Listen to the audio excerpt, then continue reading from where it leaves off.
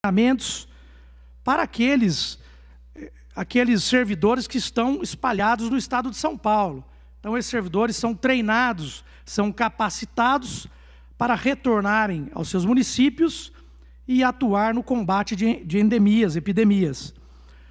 Tem pesquisas de campo, o monitoramento de espécies, por exemplo, a de moluscos, e também realiza exames laboratoriais. Essa é a empresa que o governador, através do PL 529, quer extinguir. A SUSEM faz um trabalho importantíssimo, muitas vezes invisível. Nós eh, não conseguimos encontrar um servidor da SUSEM, porque muitas vezes ele está em cima de uma árvore, no trabalho de campo, eh, colhendo eh, mosquitos e espécies aí causadoras de doenças. Tá? Muitas vezes, infelizmente, é o trabalho invisível. E o governo não dá a devida atenção a esses servidores. É, temos servidores dedicados nos 645 municípios do estado de São Paulo. A SUSEM é dividida em 10 regionais. Região Metropolitana de São Paulo, São Vicente, Taubaté, Sorocaba, que é a minha cidade, toda a região de Sorocaba ali, Campinas, Ribeirão Preto, São José do Rio Preto, Araçatuba, Presidente Prudente e Marília.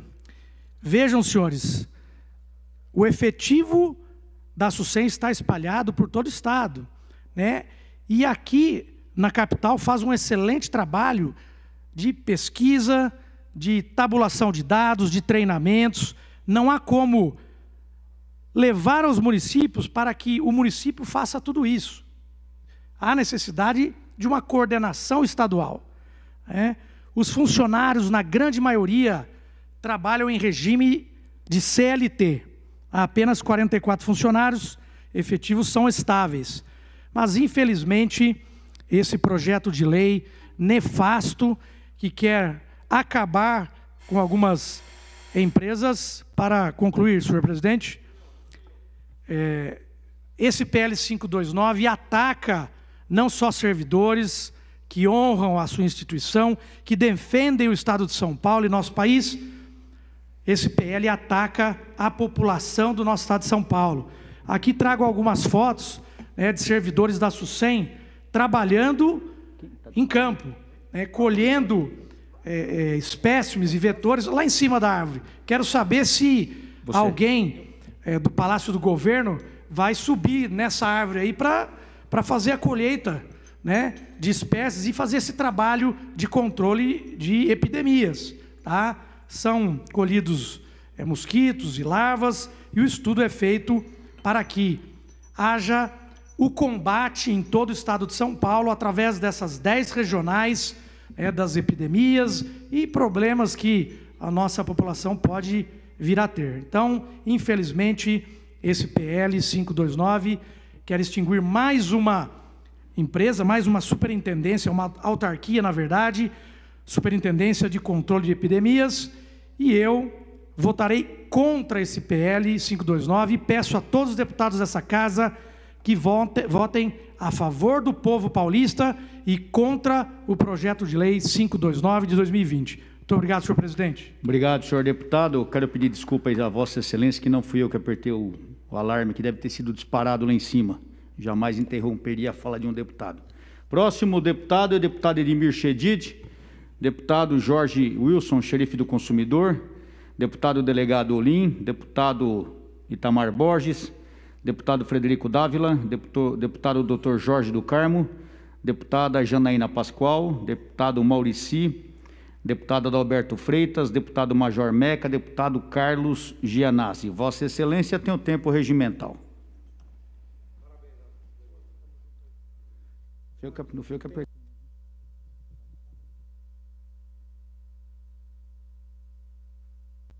Senhor presidente, senhores deputados, senhoras deputadas, primeiramente quero parabenizar o deputado Danilo Balas pela intervenção que ele fez e dizer que nós nos associamos ao que disse Vossa Excelência aqui contra a extinção da SUSEM, porque é um absurdo mesmo, deputado Danilo Balas, em plena pandemia, o governo Dória apresentar um projeto de lei acabando com a SUSEM, que é a Superintendência de Controle das Endemias do Estado de São Paulo. Isso não tem cabimento. Vossa Excelência está coberto de razão e tem todo o nosso apoio contra a aprovação na totalidade desse famigerado PL 529 que nós vamos derrotar hoje aqui na Assembleia Legislativa. Senhor presidente, é, foi votada no início do ano a reforma da Previdência aqui na Assembleia Legislativa. A polêmica é, reforma da Previdência contra os servidores estaduais. Todos se lembram aqui que teve até espancamento de servidores, a tropa de choque foi chamada e espancou professores dentro da Assembleia Legislativa. E ela foi acionada pelo presidente da Assembleia Legislativa. É, agora, e nós avisamos e alertamos os deputados que estavam votando a favor de que ela traria prejuízos imensos aos trabalhadores do Estado de São Paulo, mas também aos pensionistas e aposentados. E os efeitos perversos, estão aí. É, infelizmente, o governo Dória conseguiu derrubar uma liminar é, do Tribunal de Justiça, que nós tínhamos conseguido aqui através da, do Fórum Permanente é, das Carreiras de Estado, é, para suspender a cobrança a contribuição de pensionistas e inativos que estavam abaixo do teto do INSS. Nós conseguimos uma liminar e esse desconto foi suspenso, porque é inconcebível, por exemplo, que um servidor aposentado, né, que ganhe, por, por exemplo, R$ 1.050, tenha um desconto de 12% é, nos seus proventos, ou um pensionista que ganhe esse valor. O projeto de lei, ele, na sua perversidade, tinha e tem um artigo, porque virou lei agora, é, dizendo que em caso de déficit previdenciário, o governo poderia fazer essa cobrança. E o governo, em plena pandemia, né, através de um decreto, instituiu essa cobrança. Eu apresentei um PDL pra, para revogar para anular. O PDL está tramitando aqui. Eu peço o apoio de todos os deputados e deputadas. Mas o fato é que essa liminar dada pelo TJ foi derrubada no Supremo Tribunal Federal. O governo conseguiu derrubar, é, por enquanto, né, essa liminar. E significa que o governo Dória vai cobrar de pensionistas e aposentados que ganham 1.050, 1.100 reais, eles serão tungados, terão um confisco de 12%. Quem ganhar de 3 a 6.101 reais vai ter uma, um confisco de 14%, senhor presidente.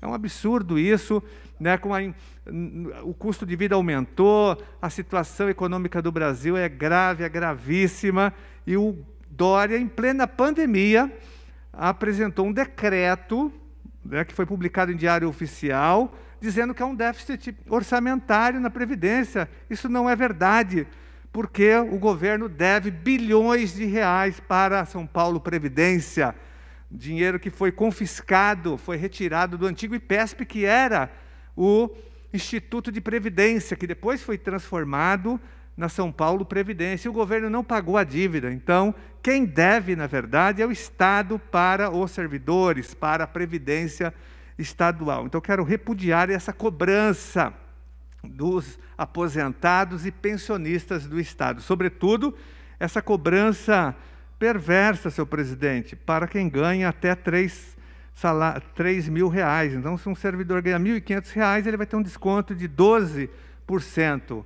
no seu olerite. Então, faço aqui, é, manifesto a minha indignação e alerto, porque eu disse isso quando o projeto estava sendo debatido.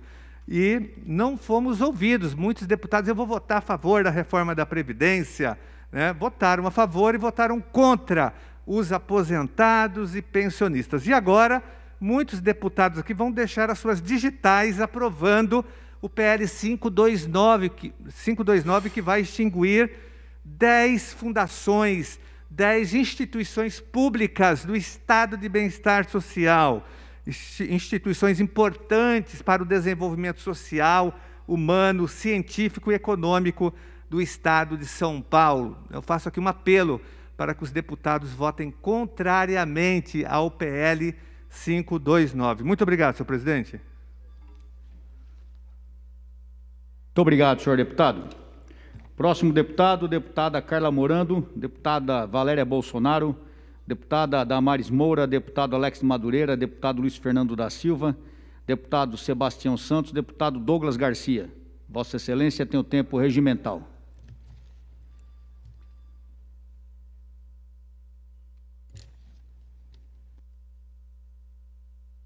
Muito obrigado, senhor presidente. Quero cumprimentar a todos aqui presentes.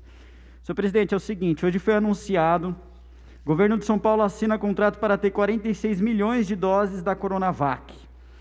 Governador do estado de São Paulo, João Dória, anunciou hoje a assinatura do contrato do governo estadual com o laboratório chinês Sinovac para o fornecimento do primeiro lote da Coronavac. Vacina contra a Covid-19 desenvolvida pelo Instituto Butantan em parceria com os chineses. Segundo o acordo firmado, São Paulo receberá 46 milhões de doses até dezembro. No ano passado, ano passado, o governador João Dória anunciou o Investe São Paulo na China.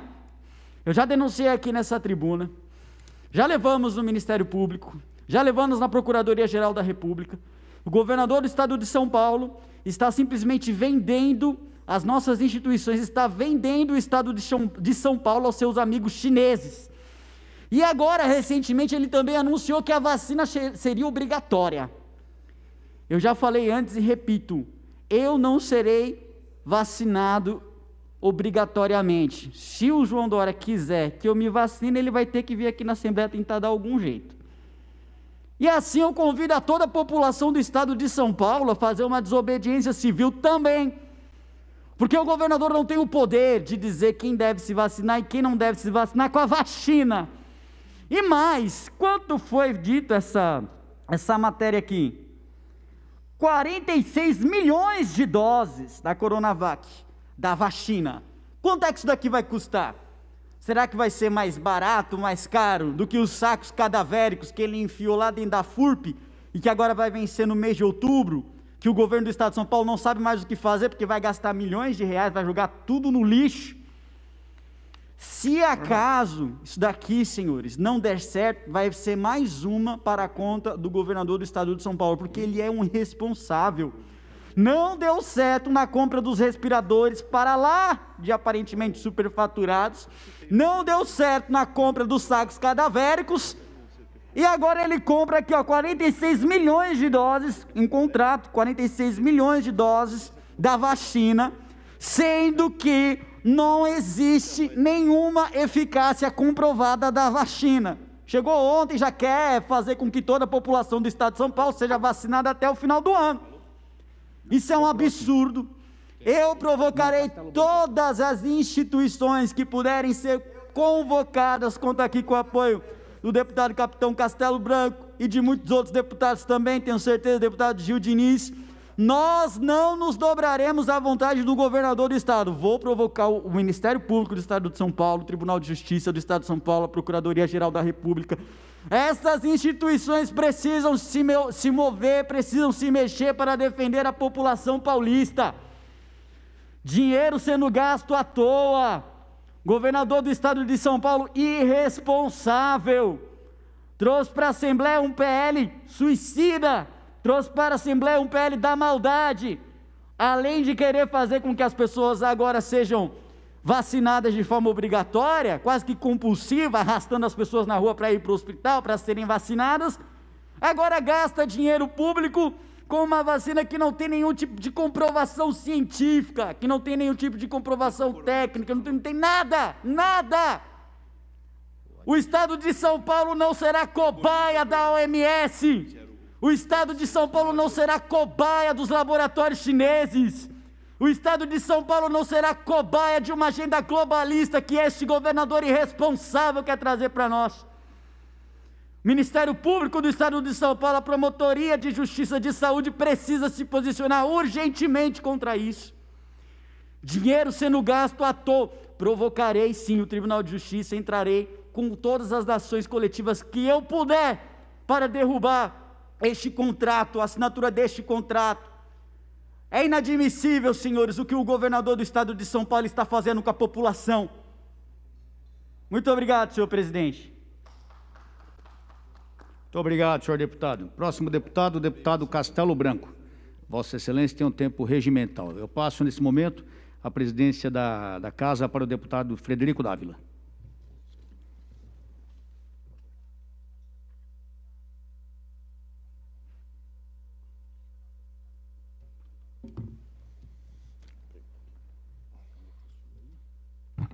Pequeno expediente do dia 30 de setembro de 2020, Assembleia Legislativa de São Paulo. Deputado Castelo Branco fará hoje diversas apresentações, todas contra o projeto de lei 529, apelidado de o pacote da maldade com requintes de crueldade. E ontem à noite surgiu o cavalo de Dória, ou o cavalo de Tróia. Cavalo de Tróia, em, que remete à guerra onde uma coisa aparentemente boa e que era um presente, no fundo era uma grande maldade. E eu vou defender agora, no pequeno expediente, a CDHU. Eu fiz uma pequena apresentação, onde a gente vai falar um pouco sobre esta grande empresa e mais uma que o governo do estado quer acabar. Muito bem. Companhia de Desenvolvimento Habitacional e Urbano do Estado de São Paulo, empresa do governo estadual vinculada à Secretaria de Habitação, foi criada em 49 e ainda é atual e é o maior agente promotor de moradia popular do Brasil. Ela tem por finalidade executar programas habitacionais para o povo em todo o território, voltados à população de baixa renda, principalmente na faixa de 1 a 5 salários mínimos. A CDHU é hoje uma das maiores companhias habitacionais do mundo e movimenta perto de 1,5 bilhão de reais por ano. Próximo. A Companhia de Desenvolvimento Habitacional e Urbano do Estado de São Paulo iniciou suas atividades construindo e comercializando por volta de 539 mil novas unidades habitacionais, número que compõe cerca de 3.600 conjuntos habitacionais em 639 municípios, ou seja, 97% de um total de 645 cidades que existem no estado de São Paulo. Esses são dados do ano passado, o que corresponde a cerca de 2,2 milhões de pessoas que são atendidas, número superior à população da grande maioria dos municípios brasileiros. Aqui nós temos um mapa importante que mostra as áreas territoriais, as unidades entregues e a urbanização. Lembrando que um dos grandes problemas do estado de São Paulo na minha maneira de entender, entre outros, evidentemente, é a habitação e a questão de terras. A questão de habitação, um problema crônico, vinha sendo muito bem gerenciado até agora. Aqui nós temos uma tabela de distribuição de unidades habitacionais entregues e atendimentos em urbanização de comunidades de baixa renda, as favelas, entre 67 e 2010. Né?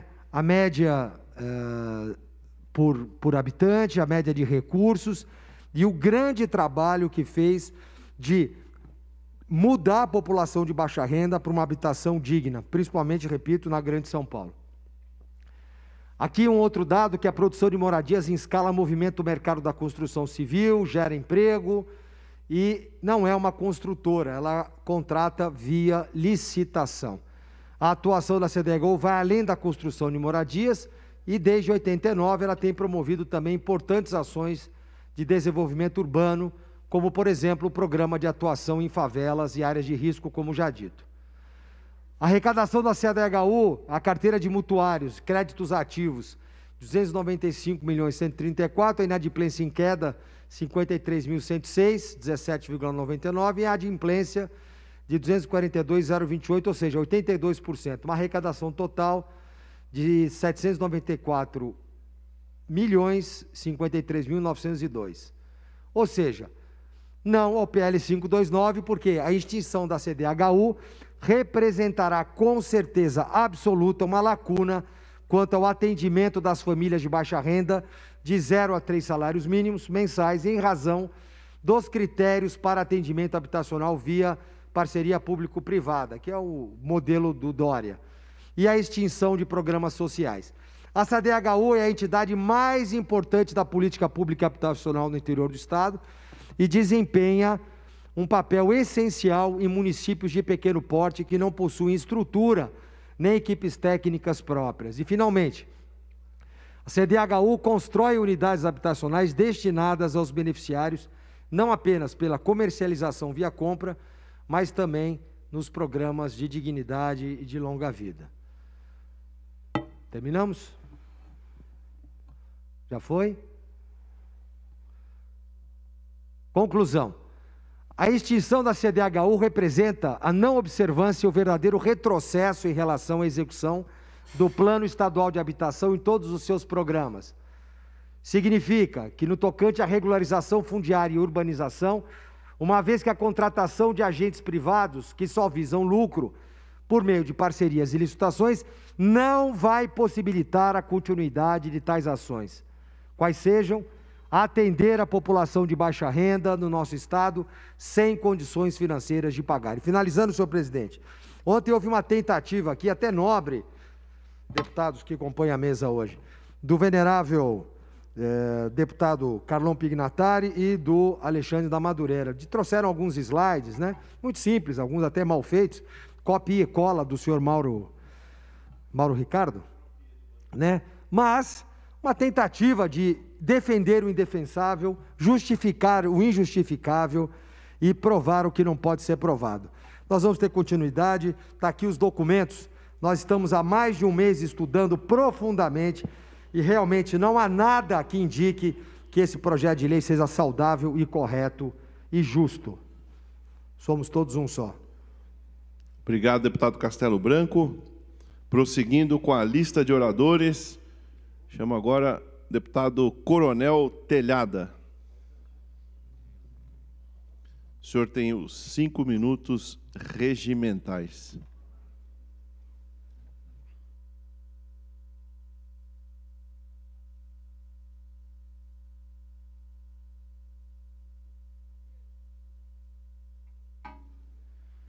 Senhor presidente, senhores deputados, todos que nos assistem pela TV Assembleia, quero saudar aqui o cabo Salvador e o cabo Peluco, em nome de quem saúdo nossa assessoria policial militar. Hoje é dia 30 de setembro de 2020, quero começar saudando uh, a Polícia Civil de São Paulo, porque hoje é o dia da Polícia Civil de São Paulo. Quero também aqui saudar os nossos amigos e irmãos de armas do TOR, tático ostensivo rodoviário, também criado no dia 30 de setembro de 1987, pelo então coronel Ralph Rosário Solimeu, que era o CPRV na época. O Nery foi do TOR, né, Nery? O sargento Nery aqui, deputado, pertenceu ao TOR. Também parabéns aos amigos e amigas do TOR. Também hoje, dia 30 de setembro, é o dia da secretária. Um abraço a todas as senhoras e também homens que fazem essa função de secretário, né? Que executam essa função de auxiliar, de controle. Parabéns a todos pelas suas missões. Hoje, na Marinha do Brasil, também é comemorado o Dia do Capelão da Marinha, uma função muito importante de apoio espiritual em todas as religiões aí dos oficiais da Marinha, das praças da Marinha. Um abraço a essas pessoas que exercem tão nobre missão. Também quero mandar um abraço para uma função que aos poucos está se acabando, jornaleiro, com a mídia hoje, com a informática, Parece que a função de jornaleiro hoje está caindo um pouquinho, muita gente está deixando de adquirir material impresso, né? Mas hoje, dia 30 de setembro, é o Dia Nacional do Jornaleiro. Um abraço a todos os senhores que executam essa missão. E também é o Dia Mundial do Tradutor, aquelas pessoas que trabalham na função de traduzirem é, livros, textos, filmes, enfim, parabéns a todos que executam essa missão tão importante. Infelizmente, hoje nós temos a lamentar a morte de um policial militar, o soldado André Luiz Roberto, do 3 Batalhão de Polícia de Choque, um jovem policial militar de poucos anos de vida, eu não tenho exatamente a data dele aqui, a, a nascimento dele, mas eu creio que não tem mais de 30 anos de idade. Esse policial militar estava de folga em, em trajes civis indo para casa, quando ele foi abordado por uma, uma motocicleta com outros indivíduos, que o identificaram como policial militar e efetuaram inúmeros disparos contra o soldado André Luiz Roberto, que ficou gravemente ferido, chegou a ser socorrido, mas infelizmente faleceu. É mais um homem, mais um policial militar que morre por ser policial militar. Ele foi morto porque ele foi identificado como policial militar e foi fuzilado por esses criminosos.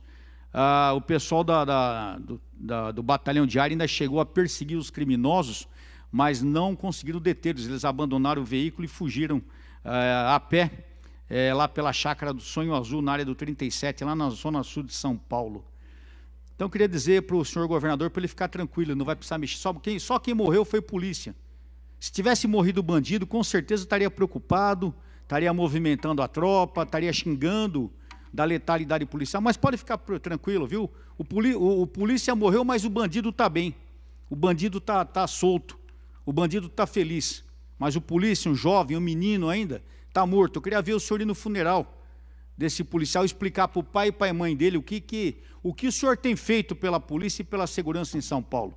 Explicar como é que o filho deles morreu, simplesmente pelo fato de ser policial. E se ele tivesse matado esses criminosos, com certeza ele estaria pendurado agora. Estaria sendo transferido, estaria respondendo processo, estaria recolhido, ou quem sabe até preso no Romão Gomes porque praticou excesso.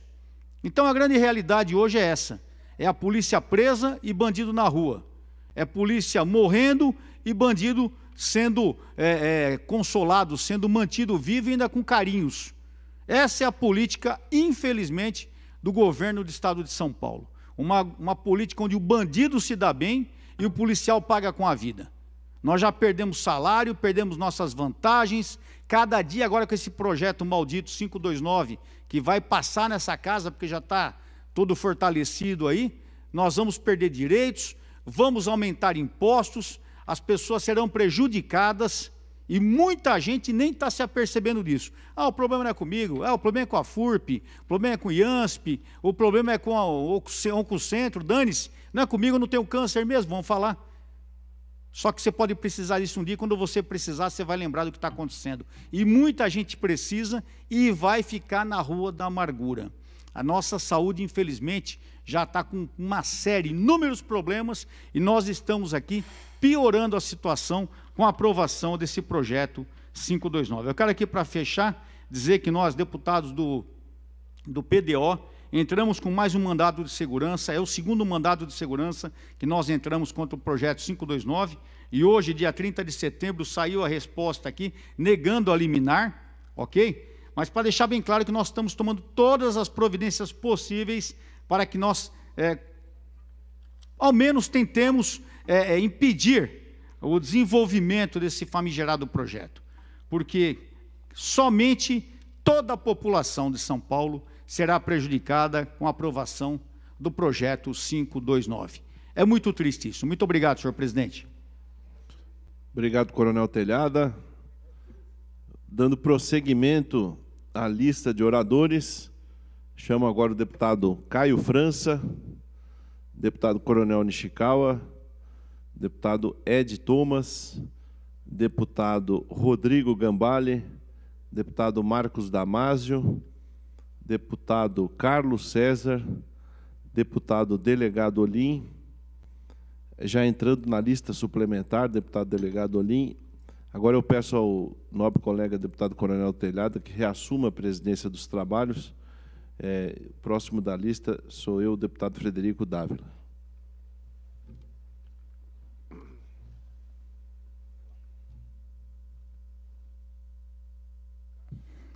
Convido o deputado Frederico Dávila para uso da palavra.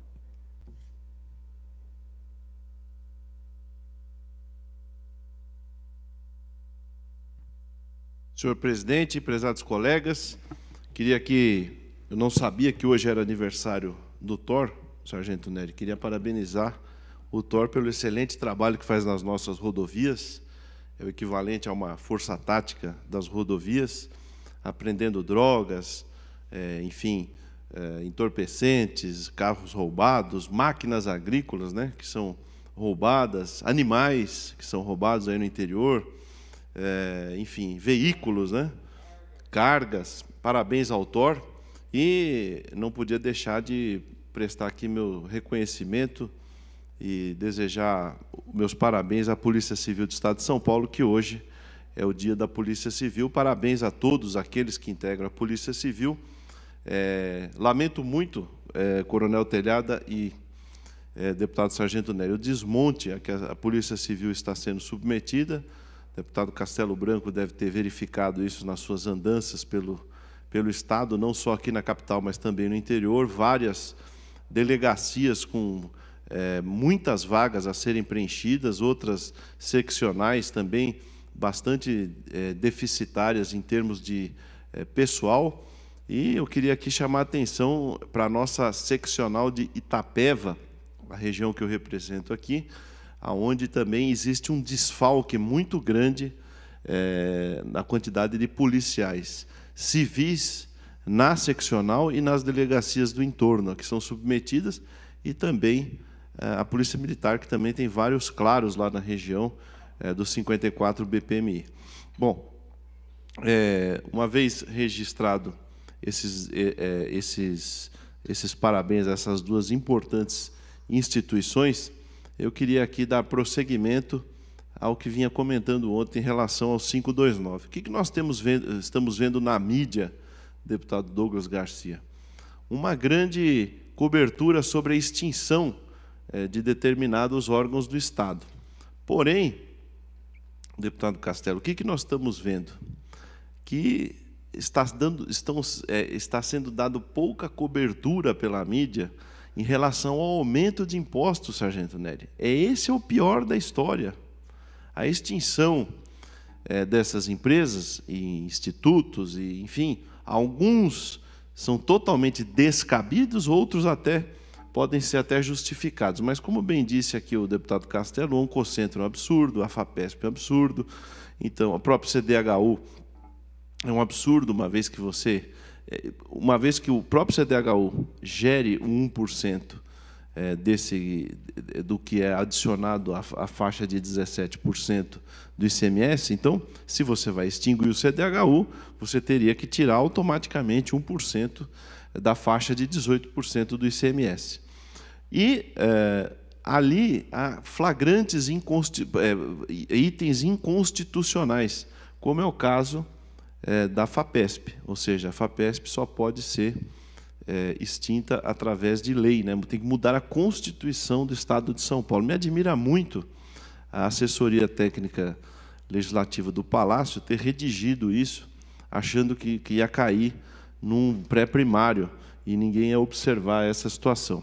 Mas o pior de tudo é que é, esse aumento de impostos vai cair justamente, é, deputado Nery, sobre a população mais pobre a população mais pobre é que vai pagar mais impostos em cima de tudo, tudo, desde o alimento até os itens de higiene pessoal, é, enfim, tudo será colocado em cima da população mais pobre. E o que é mais calamitoso, é, Coronel Telhada, é que acontece o seguinte: depois de nós passarmos por todo esse processo de, de extinção de algumas empresas, foram praticamente extintas não tem como se levantar mais. Faliram, fecharam e não tem retorno. Aqueles que saíram combalidos da, da, da pandemia agora vão ser esfaqueados é, através de novos impostos patrocinados pelo seu Mauro Ricardo e pelo governador João Dória. Para finalizar aqui minha fala, queria pedir aproveitar o Machado, pedir para colocar na tela em relação à prefeitura de São Paulo. Queria aqui, por gentileza, a imagem. Olha, esse é meu filho. Ó. Não dá para ver o direito aí, porque tá, quem está vendo ali é um picado de mosquito. Você pode passar outra? Oh, aí, ó. Essa é a administração do, da Prefeitura de São Paulo. Então, é, eu queria dizer o seguinte: eu ainda não sei em quem eu vou votar, mas eu já sei em quem eu não vou votar, eu já sei. Porque essa aí já é uma semana, Sargento Nery. E ele já está com a nova remessa dessa aí de mosquitos. Está um inferno verdadeiro, a região próxima ali ao Rio Pinheiros, e que todas as moradias ali em volta do Rio Pinheiros estão acometidas por verdadeiras nuvens de pernilongos e a prefeitura não faz absolutamente nada.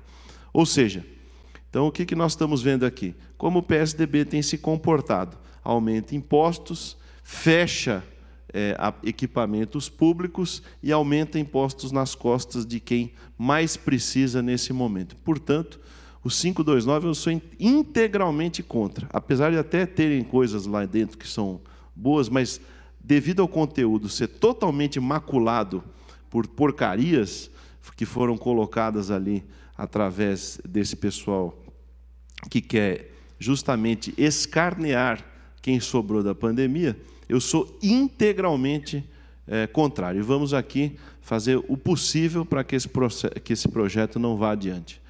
É, e queria aqui também dizer, pedir o apoio de todos os nossos colegas, senhores e senhoras deputados, que não permitam que essa calamidade seja implantada no nosso Estado. Obrigado, senhor presidente.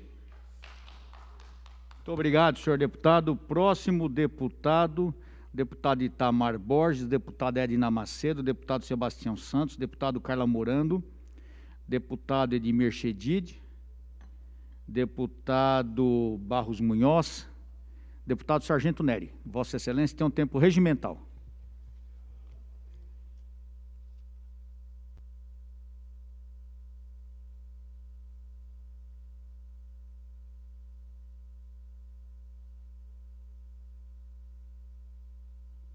Boa tarde, presidente. Boa tarde todos os deputados. Quero cumprimentar meu amigo Cabo Peluco, com o qual trabalhamos junto na Força Tática 16 Prazer tê-lo aqui, viu, Peluco? No qual cumprimento todos os policiais militares. Cumprimentar na pessoa do tenente da reserva Santana, cumprimentar os integrantes do TOR, eu menciono ele porque foi um professor meu na, no policiamento de TOR, primeiro BPRV, Cumprimentar na pessoa da doutora Ana Karina Marinha e também do investigador Marcos, grandes amigos, é, a Polícia Civil, que a gente tanto respeita e tem um apreço, meu pai, quero cumprimentar ele também, porque é um policial civil aposentado.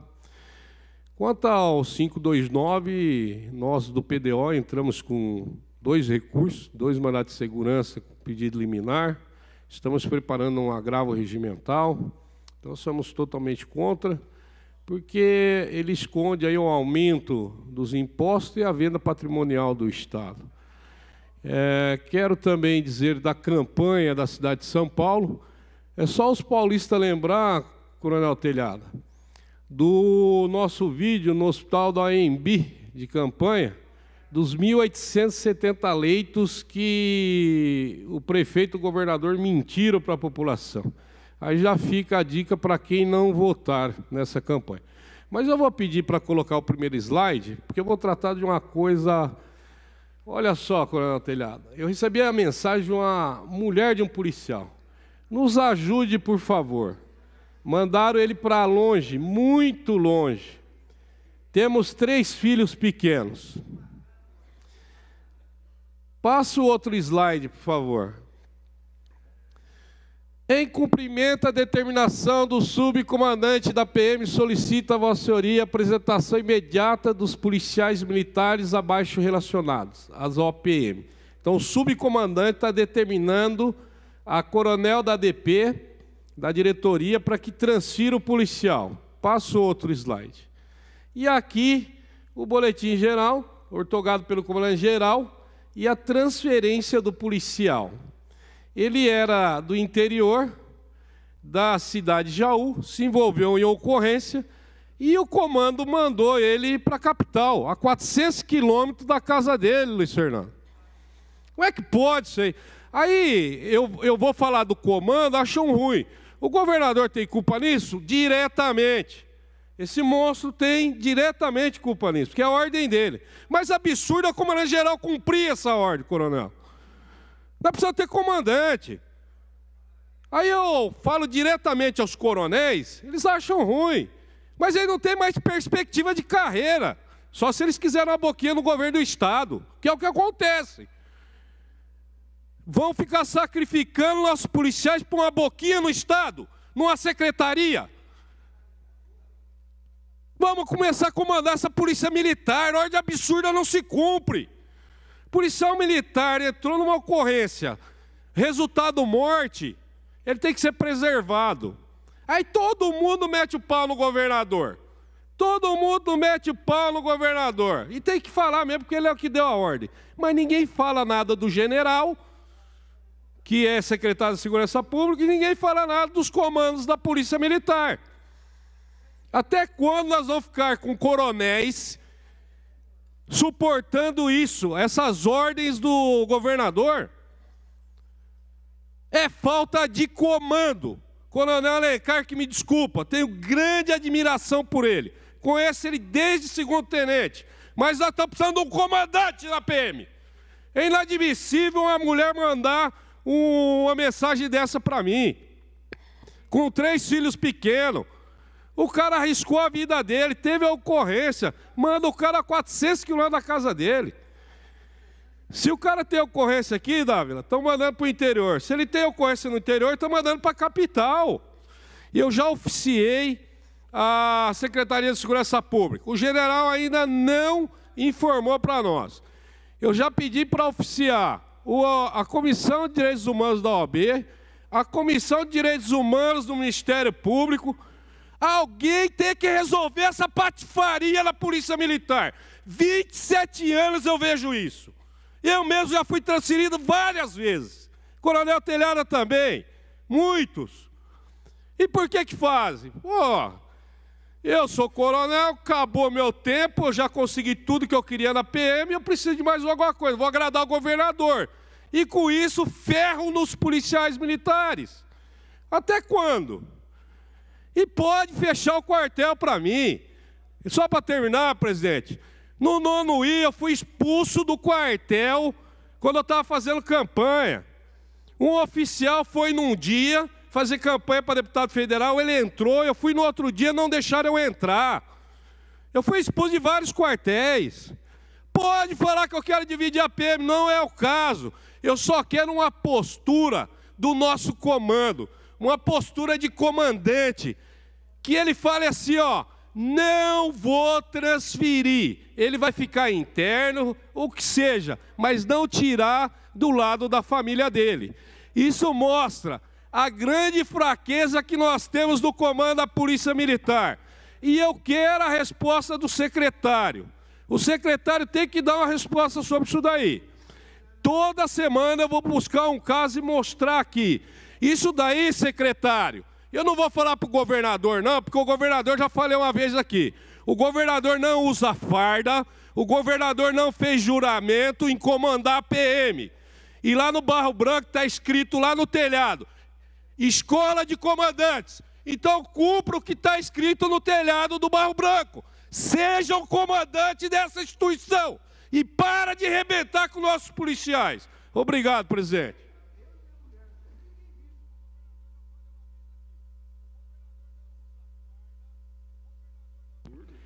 Muito obrigado, senhor deputado. O próximo deputado é o deputado Ed Thomas.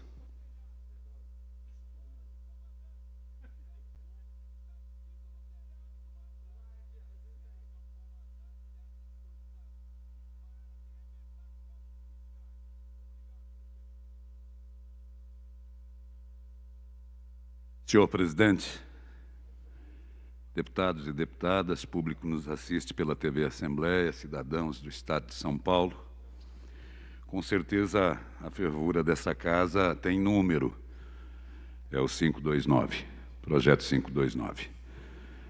E que não é apenas e tão somente uma responsabilidade dos 94 deputados, mas que atinge toda a população do Estado de São Paulo. Quem sabe eles não receberam, eu digo eles, aqueles mais atingidos por esse projeto em todos os segmentos, do bolso até a saúde, passando pelo não cumprimento da lei e assim não havendo a justiça com igualdade. Eu tomo a liberdade de nesse microfone da Assembleia Legislativa fazer a leitura de ofício do Ministério Público do Estado de São Paulo, a terceira promotoria de Justiça, presidente Prudente, ao senhor presidente desta casa, senhor Cauê Macris. Esse ofício, enviado pelo digno promotor Dr. Marcos Akira Mizuzaki. Com profunda tristeza tomei conhecimento que tramita nesta honrosa Casa Legislativa o projeto de lei 529-2020, encaminhado pelo senhor governador do Estado, que trata da extinção da Fundação ITESP. Fundação Instituto de Terras de São Paulo, José Gomes da Silva. Sem embargo da necessidade de redução de gastos públicos e discricionariedade de decisão desta casa sobre o projeto em tela, além de outras inúmeras notas de apoio e informações técnicas já recebidas por Vossa Excelência. Gostaria tão somente de acrescentar algumas informações que reputo relevantes para o conhecimento de Vossa Excelência e de todos os deputados. Estou no Ministério Público há 25 anos, atuando basicamente neste período no Pontal do Paranapanema. Ao longo destes anos, sou testemunha do brilhante e primoroso serviço prestado por esta valorosa fundação em nossa região desde a sua instituição, fruto do árduo trabalho desempenhado pelos seus dedicados servidores. Tenho que sua extinção, sem dúvida, representa um grande retrocesso, revelando o verdadeiro desfalque na implementação e continuidade das políticas fundiárias no Estado de São Paulo. Desta forma, venho pelo presente solicitar de Vossa Excelência e os demais honrados deputados estaduais a rejeição do mencionado projeto, por estar dissonante ao interesse público, notadamente em nossa região em nossa região. A segunda, talvez a primeira mais pobre do Estado. Assina o digno promotor, doutor Marcos Akira Mizuzaki. Eu sou um deputado distrital, embora o sistema ainda não existe. É o sistema que eu acredito em representatividade. Eu venho de Presidente Prudente, do Oeste Paulista, décima região administrativa do Estado, conflitos fundiários, Muitos resolvidos, muitos a se resolver, mas onde há uma insegurança jurídica tamanha, tamanha. Entrou governadores, saiu governadores, e nós continu continuamos, apesar da distância. A gente encurta isso através da representatividade política, porque a política ela diminui essa distância. Isso aqui é minha obrigação.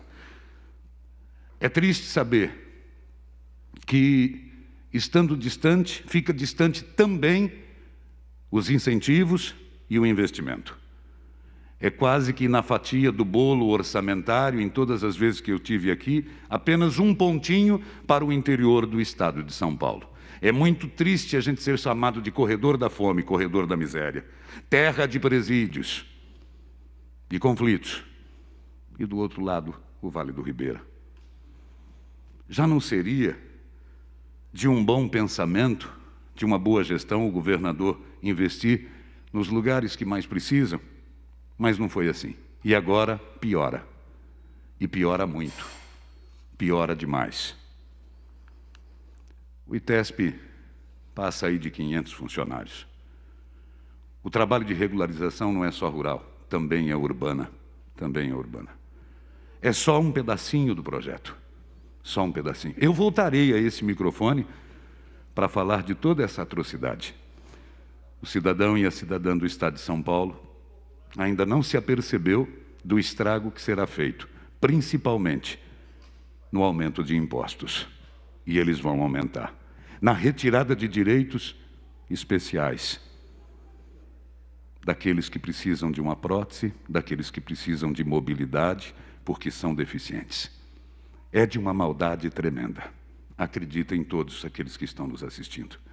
É de uma maldade tremenda. Neste momento, jamais. Em nenhum outro momento também, mas este, que é crucial, que vivemos uma quebradeira total, total, promovida principalmente por governadores deste país, querendo o povo na miséria e simplesmente para que não se faça justiça. Esse projeto tira das pessoas praticamente todo o direito de luta, de dignidade e de respeito. É um projeto, com certeza, sem respeito. Sabemos que algo precisa ser feito, que precisa ser enxuto, mas sabemos também que a roubalheira que fizeram com esse país nesse período de duzentena, que não é quarentena, é gravíssimo, é gravíssimo. Teremos muitas notícias e muitos capítulos a seguir. Muito obrigado a todos, obrigado pela tolerância, senhor presidente.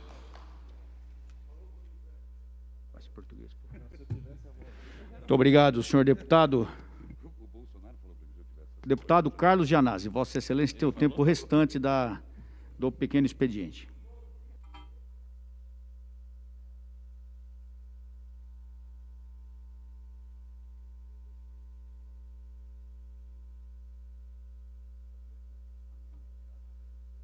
Presidente, quero me associar ao que disse o deputado Ed Thomas, né, se manifestando mais uma vez em defesa do ITESP. Parabéns, deputado Ed Thomas, pela sua posição crítica de combate ao PL 529. Quero dizer, senhor presidente, que o governador Dória, ele me parece que ele tem inveja do Bolsonaro.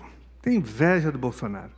Ele se elegeu com o Bolsodória, né? Pegou carona no bolsonarismo. O tempo, tempo, do deputado Carlos Genás está errado, começou com dois minutos.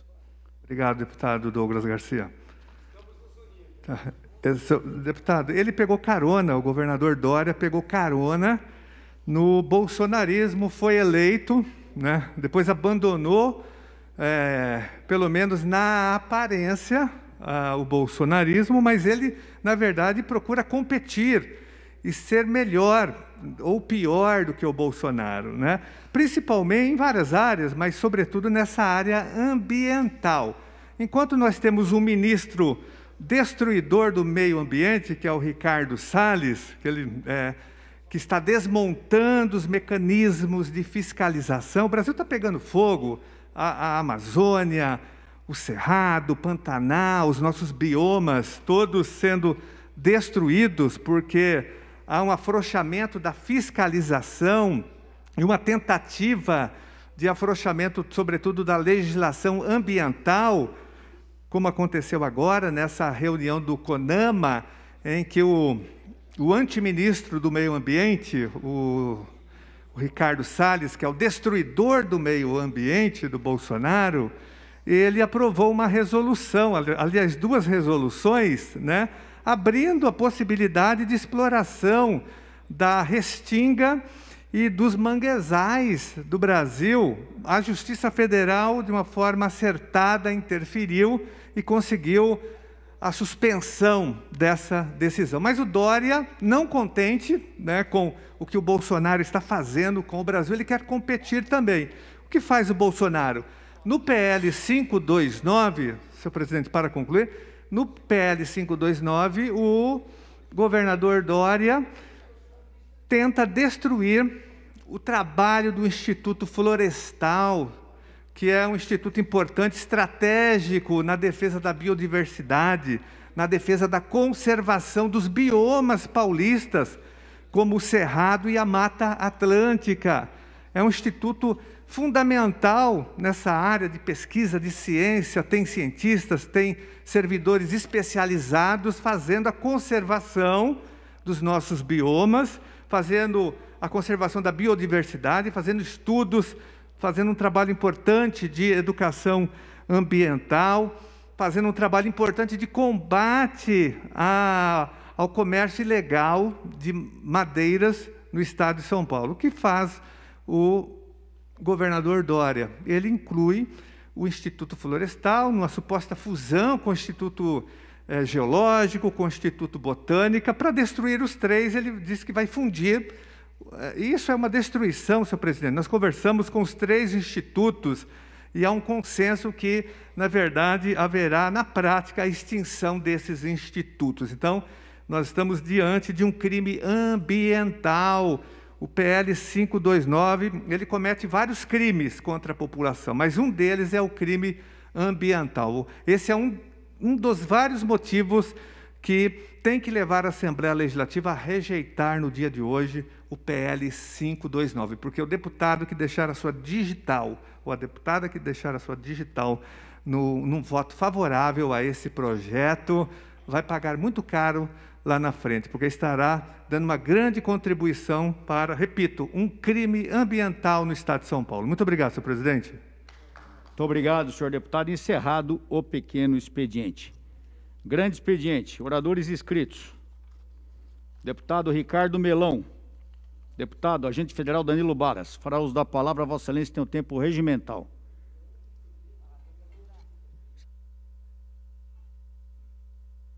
Passo a presidência da sessão para o deputado Frederico Dávila.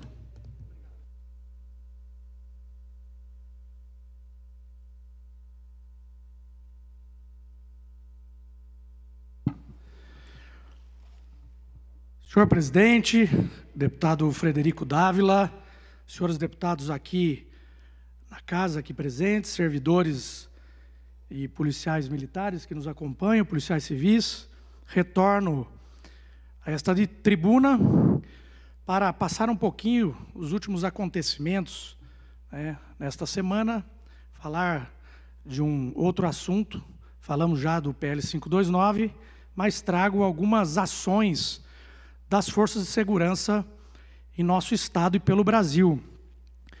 É, pertenci à Polícia Militar por 12 anos, estou na Polícia Federal há 15, é, trabalho há 27 anos na segurança pública de nosso país e não poderia deixar de vir aqui, meu amigo Ed Thomas, professor Castelo, não poderia deixar de vir aqui exaltar as forças de segurança, certo, comandante Barros Munhoz e querido Douglas Garcia. Começo por uma operação da Polícia Federal que investiga postos de distribuidoras de combustível em operação com lavagem de dinheiro e facção criminosa. O PCC movimentou 30 bilhões de reais e a justiça determinou o bloqueio de 730 milhões.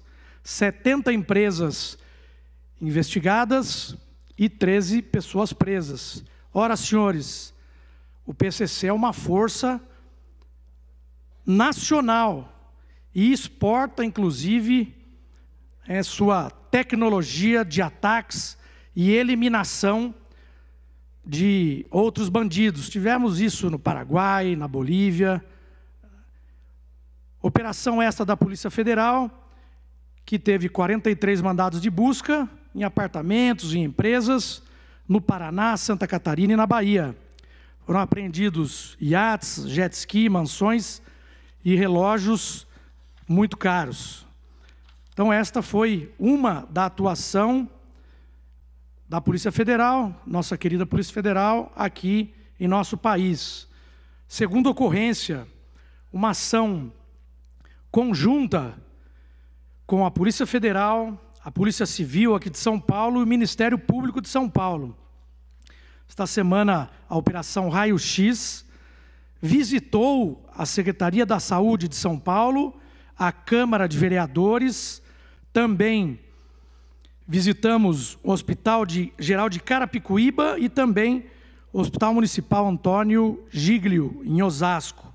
Senhoras e senhores, 237 mandados de busca as forças de segurança estão chegando, a Polícia Federal, a Polícia Civil, Ministério Público, com as investigações, estão chegando nos desvios de verbas da área da saúde, mais uma vez. Infelizmente, servidores mau caráteres se aproveitaram da pandemia, desse momento difícil que o país enfrentou, para surrupiar o dinheiro público. Próxima operação, trago aqui, a Polícia Federal desarticula a associação criminosa que movimentou mais de 230 milhões entre o Brasil e o Uruguai. A Polícia Federal lá do Rio Grande do Sul atuou na Operação Ialá, crimes de evasão de divisas, câmbio ilegal e lavagem de dinheiro, lá na fronteira do sul do país, Brasil e Uruguai mais de um milhão de reais de valores foram movimentados em algumas contas bancárias que somam 230 milhões de reais. Então, parabéns à Polícia Federal do Rio Grande do Sul. Para quem não sabe, quando nós temos essas mega operações, né, além da Polícia Federal daquele estado, outros policiais federais do país, é, preferencialmente de estados próximos, ali Paraná, Santa Catarina, até São Paulo, se deslocam até o estado para dar cumprimento às ordens judiciais. Tá?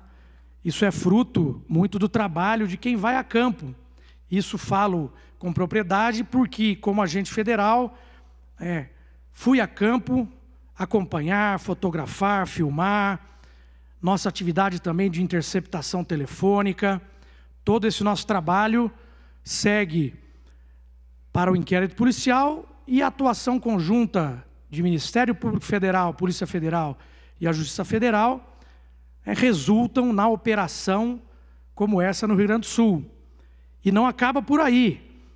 Quem participou da operação, cumpriu às vezes mandados de prisão, é, que encontrou armas e joias na residência, ele é chamado a depor em juízo, lá no Ministério Público. Então, a importância da prova, da colheita da prova, uma prova robusta, que vai levar ao criminoso para trás das grades. Então, esse é o trabalho das polícias no Brasil e eu falo é, agora da Polícia Federal.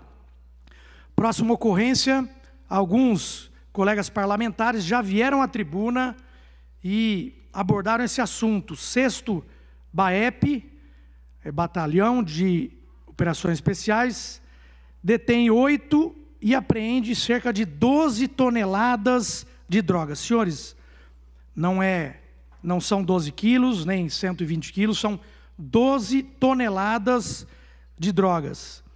São oito suspeitos, foram oito suspeitos detidos, e um enfrentou é, o BAEP lá e conseguiu o seu lugar lá em outro plano, é, talvez muito abaixo da terra.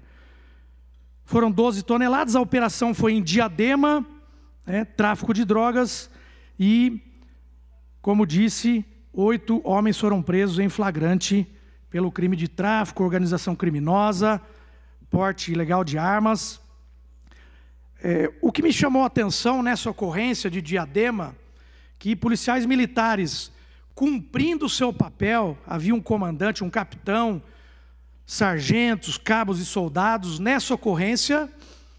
E digo aqui parabéns à Polícia Militar, porque é, poucas vezes nós vimos tanta droga assim mesmo em apreensões da Polícia Federal.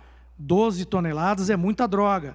Então, parabéns, policiais militares. E o que nos chama atenção, presidente, é que esses policiais que participaram dessa ocorrência foram retirados da rua, transferidos da atuação policial. Isso é um absurdo. Desde o ano de 1997, eh, fui policial militar por 12 anos e já atuava na rua de 97 para frente. Eu fui é, movimentado da atividade operacional é, para uma atividade na, no centro de São Paulo, na época chamado PROAR, porque tive um enfrentamento com um bandido e o bandido veio a óbito. Então, desde aquela época, 97, 98, o policial que enfrenta bandido é retirado da rua. É, os nossos deputados aqui, militares, policiais, e o nosso presidente Frederico Dávila, que é um irmão da Polícia Militar também aí, das Forças de Segurança, sabe muito bem o que eu estou falando. É, e a última ocorrência de hoje, parabenizo mais uma vez a Polícia Federal, a Operação Postal Off, um esquema criminoso de prejuízo de quase 100 milhões aos cofres públicos, envolvendo empresários e funcionários dos Correios, aqueles maus funcionários. Né? Havia um uma, subfaturamento de valores devidos à empresa brasileira de Correios, além do desvio para esses servidores empresários de valores de, eh, de pessoas que precisavam dos Correios. Foram vários mandados de busca e apreensão, inclusive de afastamento de servidores dos Correios, e a soma de 94 milhões de reais, mais ou menos, de prejuízo aos cofres públicos. Crimes de corrupção passiva e ativa, estelionato, organização criminosa e violação de sigilo funcional. Então, senhores, venham até essa tribuna, é, como representante, um dos representantes da segurança pública, exaltar a atuação da Polícia Militar, da Polícia Civil, do Ministério Público também, que é parceiro, e da nossa querida Polícia Federal. Deus abençoe a todos os integrantes da segurança pública de nosso país e de nosso estado, que infelizmente já são maltratados há muitos anos. Muito obrigado a todos. Obrigado, deputado Danilo Balas. Dando prosseguimento à lista de oradores, chamo agora o deputado Edmir Chedim, deputado delegado Lim, deputado Jorge Wilson, deputado Itamar Borges, deputado Frederico Dávila fará uso da tribuna e peço ao deputado Castelo Branco que assuma esta presidência.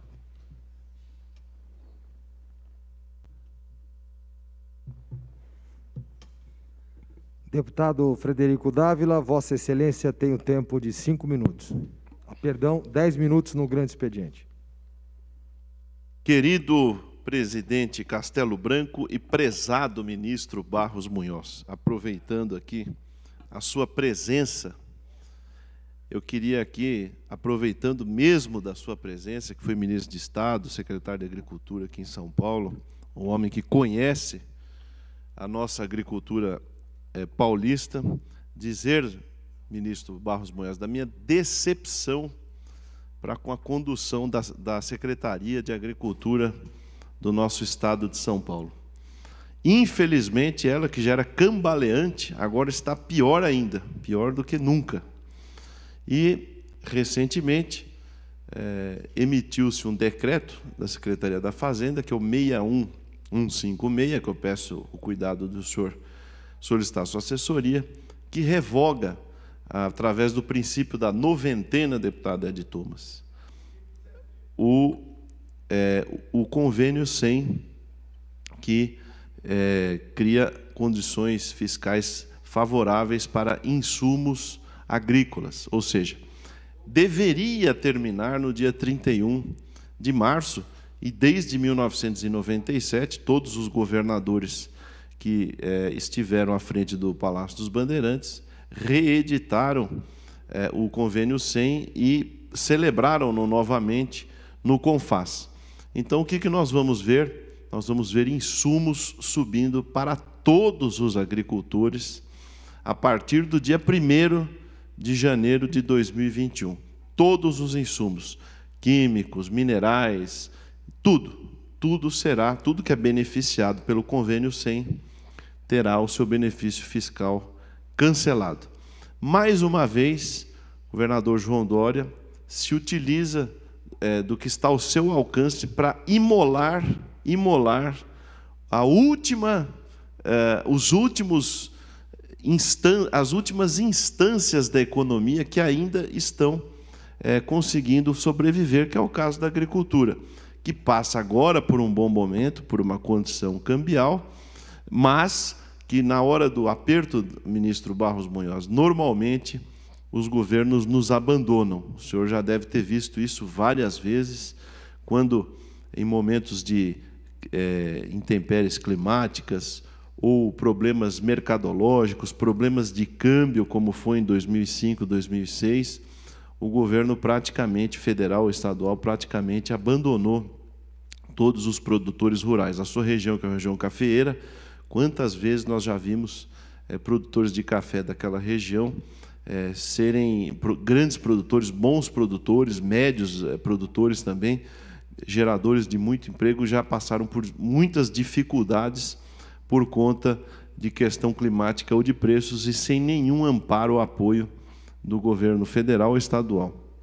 Então agora o governador João Dória quer se aproveitar, é, quer se aproveitar do que está ao seu alcance para imolar fiscalmente a população economicamente ativa que restou, como bem disse ontem o deputado Douglas nessa tribuna, é, dizendo da, da, proposta não só do 529, mas também de outras tantas outras propostas que ele apresenta. Então, ontem eu vim aqui a essa tribuna e coloquei aqui na nossa sessão extra a questão da exportação eh, da centrifugação do, do, da, da, como as empresas vão saindo aqui do estado de São Paulo, uma vez que se é, mude a alíquota do ITCMD. Então, o que, que vai acontecer? As empresas médias, pequenas, grandes, as grandes são as primeiras a sair, vão mudar o seu domicílio fiscal para outros estados. Vão para Rondônia, Roraima, Amapá, porque são estados que vivem basicamente de repasses federais, e uma vez que é, a sua sede mude para esses lugares, eles vão ter uma grande receita, uma vez que eles vão criar condições favoráveis para que você leve a sede da sua empresa para lá. São Paulo, pela primeira vez, creio eu, deputado Barros, estará espantando investidores, presidente Castelo Branco, espantando investidores. A capital dos negócios do Brasil, que é a capital de São Paulo, o estado locomotiva do Brasil, que é o estado de São Paulo, está é, centrifugando aquilo que resta de empreendedorismo é, que tem como objetivo final o estado de São Paulo. É inacreditável, é inacreditável que isso tenha saído de um governador que se diz gestor gestor de coisa nenhuma, ele deve ser gestor de fumaça, que ele sabe vender muito bem fumaça, ar-condicionado é, no Alasca e consegue vender aquecedor em Belém do Pará. Ele, isso ele é bom. No marketing ele é muito bom. Agora, o que acontece aqui é que é impressionante que a parte técnica do governo coloca essas coisas e manda isso para a Assembleia, deputado Editor. Mas é inacreditável. É, eu queria, eu queria aqui desta tribuna, fico, ficaria muito satisfeito se uma hora que seja possível, o governador Geraldo Alckmin se manifestasse a respeito do que, que ele acha desse projeto 529. Porque falei aqui ontem também na presença do ministro Barros Munhoz, quando ele era presidente dessa casa, governador Alckmin, com o apoio do nosso querido Barros Munhoz, zerou, deputado Castelo Branco, imposto para pão, macarrão, é, todos os derivados de trigo, biscoito, bolacha, massas, é zero, deputado Ed Thomas, zero, zero. Segundo o nosso croupier do Bandeirantes, o senhor Mauro Ricardo, tudo que é abaixo de 18% será é, é tido como incentivo fiscal. Então, quer dizer, então, é, que nós vamos ter, no dia seguinte, a, a sanção desse projeto, Deus nos livre, nós teremos o, as massas, pães, macarrão, é, farinha de trigo, tributados em 18%. Quem que vai sofrer? É óbvio que a população mais pobre. O custo de vida vai subir, a inflação dos alimentos vai aumentar, o transporte dos alimentos vai aumentar e também o próprio óleo diesel que é utilizado na produção dos alimentos vai se tornar mais caro e vai impactar em toda a cadeia alimentar do nosso estado. É inacreditável, inacreditável o que tem feito esse pombinho de igreja chamado João Dória, que é, sentou na cadeira de governador eu acho que ele, ele se inspirou naquele que morreu, deputado Castelo Branco da Coreia do Norte, o Kim Jong-il. Ele quer partido único, ele quer opinião única, quer mandar é, as, as ordens do palácio de cima para baixo. A Assembleia para ele seria boa se fosse unipartidária, que também, depois desses 529, é, não serve para absolutamente nada. Existe aqui um recuo da Assembleia o senhor que está aqui há muitos anos, o deputado Ed Thomas também está aqui há muitos anos, é um recuo das competências aqui da Assembleia, recua, recua, recua, recua, até chegar numa inexpressividade em relação à atuação desse poder em relação ao Estado. Veja só quanta competência nós já, já entregamos ao Executivo. Se nós compararmos aqui a nossa Assembleia, a Câmara Municipal ou mesmo a Câmara Federal, nós vamos ver que nós temos muitas competências restritas ou que foram tolhidas, é, por, às vezes por é, culpa da própria casa, em ceder espaço para o executivo. Então, fico aqui muito triste, é, porque quando se apresenta um projeto dessa natureza, é, que o governador João Dória apresentou, esse 529, já mostra, deputado Ed Thomas, uma fraqueza do poder legislativo, que ele está subjugado aos interesses do executivo e, consequentemente, aqui nós deveríamos ser a representação do povo de São Paulo, nós, nós, nós não conseguimos justamente fazer valer a opinião do paulista. E agora nós vamos experimentar, Deus nos livre, vou repetir aqui, é, espero que esse 529 não passe, mas caso passe, nós vamos experimentar uma coisa jamais vista aqui no estado de São Paulo, que é a expulsão, a centrifugação. O estado de São Paulo será um ambiente hostil para quem quer investir em São Paulo, que era a locomotiva do Brasil. Espero que não aconteça, mas se passar, São Paulo vai ser, é, vai ser colocada no passado, vai ser o, a, o estado do era. Era locomotiva, era pujante, era atrativo para negócios, graças ao governador João Dória, se esse 529 passar, nós vamos nos transformar praticamente num estado de é, no estado socialista que quer arrancar tudo daqueles que restaram com alguma capacidade de geração de riqueza. Obrigado, senhor presidente. Muito obrigado, nobre deputado Frederico Dávila. Dando sequência aos oradores inscritos no grande expediente de 30 de setembro, Convidamos o deputado Dr. Jorge Lula do Carmo, doutora Janaína Pascoal, deputado Maurici, deputado Adalberto Freitas, deputado Major Meca, deputado Carlos Gianazzi, deputada Carla Morando, deputada Valéria Bolsonaro, deputada doutora Damares Moura, deputado Alex da Madureira, deputado Luiz Fernando Lula da Silva, deputado Sebastião Santos. E neste momento convidamos o nobre deputado Douglas Garcia, para a sua fala no grande expediente. Vossa Excelência tem o tempo regulamentar de 10 minutos.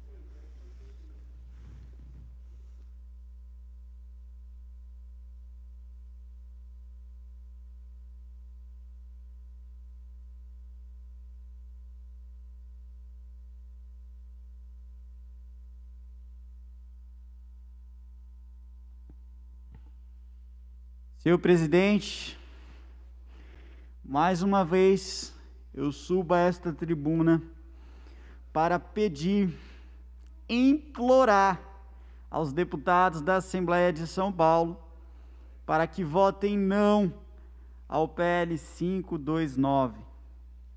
Este PL é um absurdo. É maçante o discurso repetitivo, ter que dizer cem vezes a mesma coisa mas não me foi dada a autorização pelo povo do estado de São Paulo para me cansar. Muito pouco foi me dada esta autoridade como deputado estadual para deixar de cobrar o governo. Então, novamente, eu subo aqui para apelar à consciência dos deputados dessa Assembleia, que pelo menos analisem a forma com que foi feito este projeto de lei nesta Assembleia Legislativa, o processo legislativo. Aliás, não tem nem como analisar a forma, porque para você analisar uma forma, ela precisa existir. Não existiu. O processo legislativo não existiu. Nós tínhamos este projeto na CCJ, o governo viu que não daria quórum. João Dória Veio ventos do Palácio dos Bandeirantes, entraram aqui na Assembleia Legislativa um vendaval, um furacão, quase que arranca o Palácio 9 de Julho do lugar, querendo que este projeto seja aprovado no máximo até quarta-feira. Então, o presidente da casa fez a relatoria especial, relator especial, com todo respeito, novamente eu digo aqui o deputado Alex de Madureira, que tem um valor incomensurável para a Assembleia Legislativa do Estado de São Paulo, não pode fazer apreciação de mais de 600 emendas num período de 24 horas. Isso é humanamente impossível. Então, senhores deputados, avaliem pelo menos a forma com que este projeto foi atropelado, com que foi tratorado nessa Assembleia Legislativa. É um desrespeito a essa Casa de Leis, é um desrespeito à Assembleia de São Paulo. Aumento de imposto à população paulista. É, mas não mexe na alíquota, mas não mexe na base de cálculo, mexe sim. Aumenta o imposto, sim. O poder de compra do cidadão paulista diminui, sim. A inflação aumenta, sim. O custo de vida aumenta, sim. O PL 529 é um absurdo legislativo, uma aberração legislativa, sim. E é importante que a população que está nos assistindo neste momento tenha ciência de que o responsável por isso é o governador João Dória, principalmente através da sua política do fique em casa, desde o primeiro dia em que o estado de São Paulo foi colocado em quarentena, eu protocolei um decreto legislativo aqui nesta Assembleia, pedindo a flexibilização com todos os cuidados preventivos com relação ao coronavírus, mas dando a oportunidade para a população economicamente ativa trabalhar. E não foi pautado, obviamente, porque nesta Assembleia quem manda é o governo, quem faz é o governo, quem dá as cartas é o governo, e ninguém tem mais poder absolutamente nenhum que não seja obedecer às vontades do governo.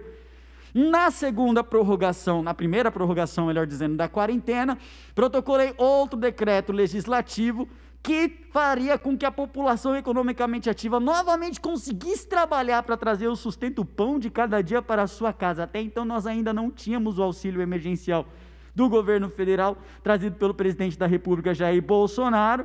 A minha intenção era fazer com que a população não passasse fome e o Estado não quebrasse, mas não foi pautado por esta casa. E o principal discurso do governador era: fique em casa.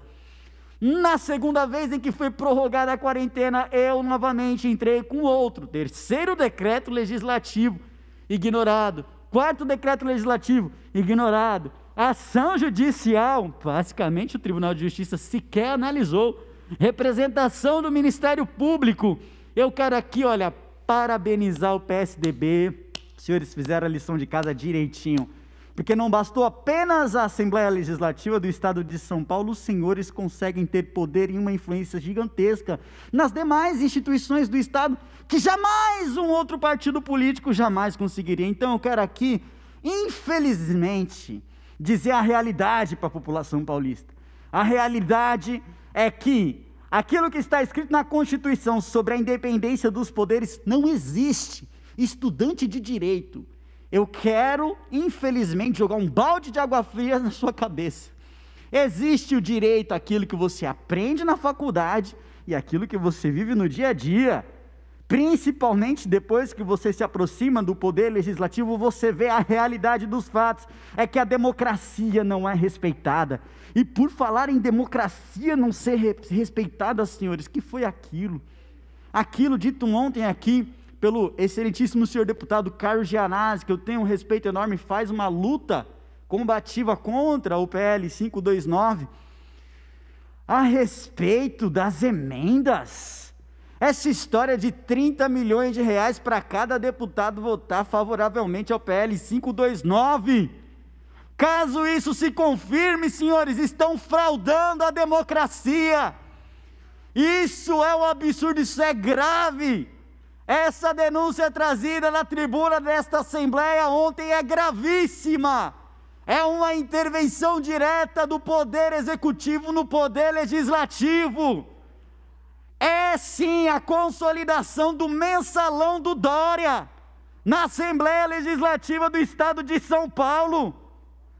Rios de dinheiro jorrando do Palácio dos Bandeirantes para aumentar o imposto da população do Estado de São Paulo para trazer o desemprego à população do estado de São Paulo, para fazer com que a população do estado de São Paulo não consiga comprar o arroz e o feijão de cada dia.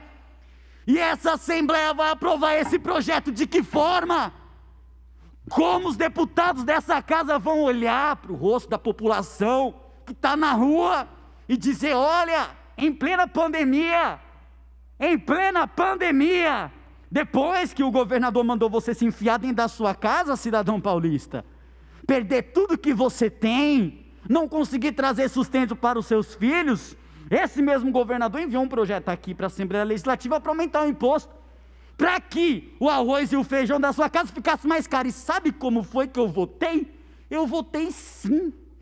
Com que cara? Eu queria entender com que coragem os deputados vão conseguir dizer um absurdo desses para a população do estado de São Paulo? E mais, e mais, Caso se concretize e as provas apareçam dessas 30 milhões que estão jorrando para cada deputado que votar favorável, aí sim que vai ficar mais vergonhoso ainda. O senhor me concede uma parte? Eu deputado? concedo. Eu queria também dizer que, assim como o arroz e o feijão, eu queria saber como é que os deputados vão se explicar aos portadores de doenças crônicas, como diabetes, como pressão alta, como é, refluxo, enfim, todos aqueles que tomam medicação diária, como é que vai explicar para a população que ele deixa de pagar a faixa de 7% do ICMS no medicamento, vai pagar 18%, é porque o senhor João Dória agora precisa arrecadar para o Estado. Então quer dizer que quer, precisa ganhar dinheiro nas costas de quem tem doença crônica. A pessoa é culpada por ter doença crônica e vai ter que, vai ter que pagar prática, mais que o dobro em impostos, impostos sobre os medicamentos de uso contínuo, que vão sair de 7 e vão para 18, porque graças ao croupier do Palácio, senhor Mauro Ricardo, tudo que é abaixo de 18 é incentivo fiscal. Muito obrigado pela intervenção, deputado Frederico Dávila. E por falar em medicamento, o governador João Dória, ele é especialista em sucatear um serviço, sucatear uma instituição, sucatear aquilo que ele não quer mais, para depois, é claro, você, a gente tem infelizmente um histórico, um histórico, eu não estou aqui acusando A ou B, mas nós temos um histórico de corrupção envolvendo o nome do PSDB.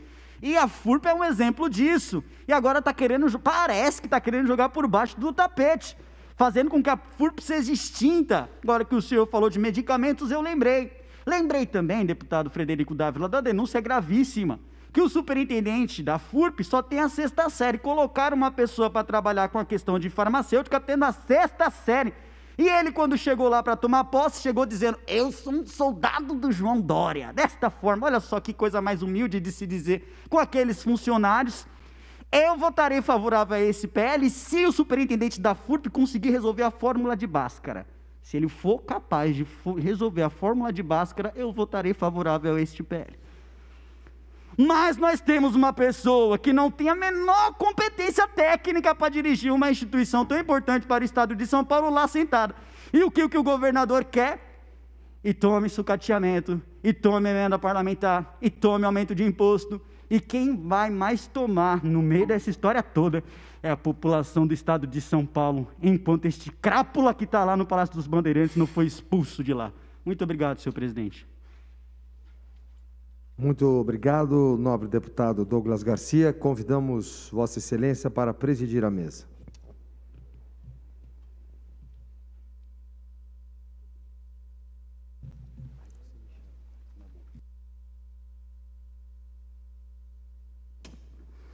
Convido o nobre deputado Capitão Castelo Branco para fazer uso da palavra. Vossa Excelência tem um tempo regimental de 10 minutos.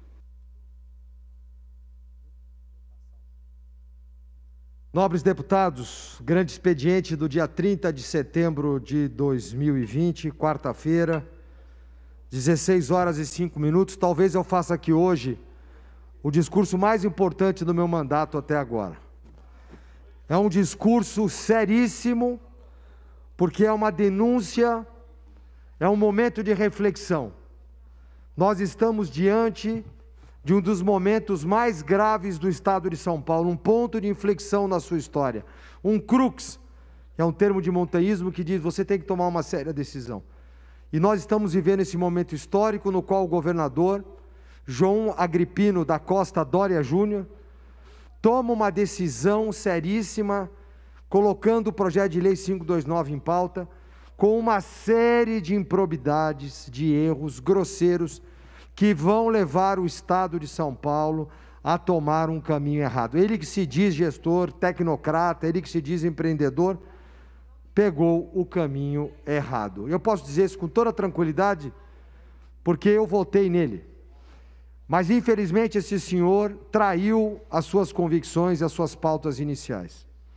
Naquele cenário, ele era uma opção e hoje ele é uma grande decepção. Eu preparei uma apresentação para que o público entenda o que é o projeto de lei 529, o pacote da maldade, com requintes de crueldade, o cavalo de Dória ou o cavalo de Trória, em comparação à guerra de Troia, onde os gregos, para entrar na grande fortaleza troiana, travestiram seus guerreiros mentindo dentro de um cavalo. É isso que ele está fazendo. Eu abro com esta frase de Elie Wiesel, Nobel da Paz de 1986, que o oposto do amor não é nenhum ódio, é, é a indiferença, que o oposto da arte não é a feiura, é a indiferença. O oposto da fé não é nenhuma heresia, é a indiferença. E o oposto da vida não é a morte, é a indiferença. Portanto, nós estamos aqui hoje mostrando que não estamos indiferentes a este absurdo que é colocado hoje pelo governador Dória. Para vocês terem uma ideia do que nós estamos falando, aqui na tela nós temos cada uma dessas bolinhas representam, deputado Barba, uma das coisas que o governador quer mexer. Né? São 18 coisas diferentes, cada uma numa área completamente diferente, algumas disléxicas, uma verdadeira esquizofrenia administrativa, nada com nada, algumas pequenas verdades no meio de um monte de mentiras. É, desdobrando de 18 dariam até 26, muito obrigado.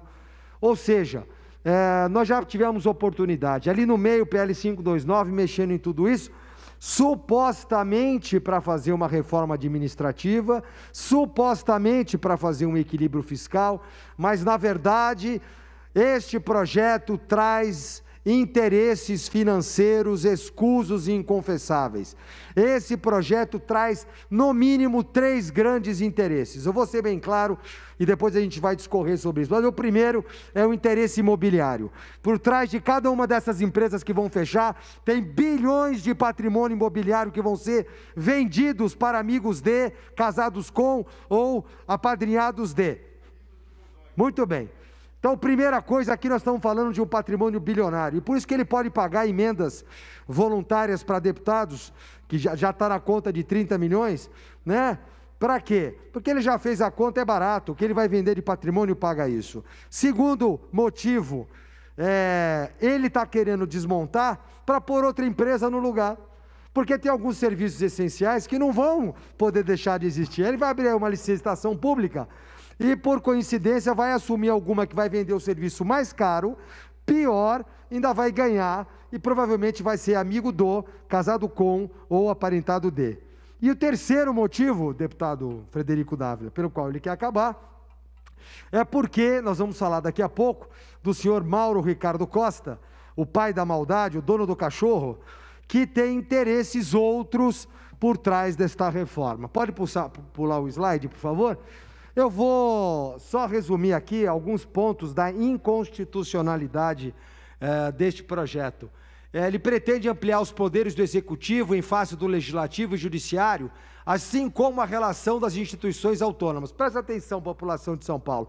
Não é só um PL administrativo, não. Dentro dele, ele vai dar um cala-boca no Ministério Público, na Assembleia Legislativa de São Paulo, na Defensoria Pública ele está tirando os poucos poderes que nós tínhamos como legisladores estaduais. A Constituição de 88, a Constituição Cidadã, trouxe alguns problemas. Um dos problemas foi tirou a autonomia dos estados. E a pouca autonomia que nós tínhamos, ele vai tirar com este projeto de lei. Ou seja, diminuir impostos, legislar sobre impostos não é mais agora autonomia nossa, vai ser de procedência do Estado. O projeto autoriza a extinção de 10 entidades governamentais sem diálogo, sem audiência pública, sem ouvir a categoria, sem absolutamente nada. Três, o governo também pretende que o superávit orçamentário dos poderes legislativo, judiciário, Ministério Público e Defensoria sejam transferidos para a conta única do Tesouro, ele está punindo quem fez economia, ele queria fazer a mesma coisa com as universidades.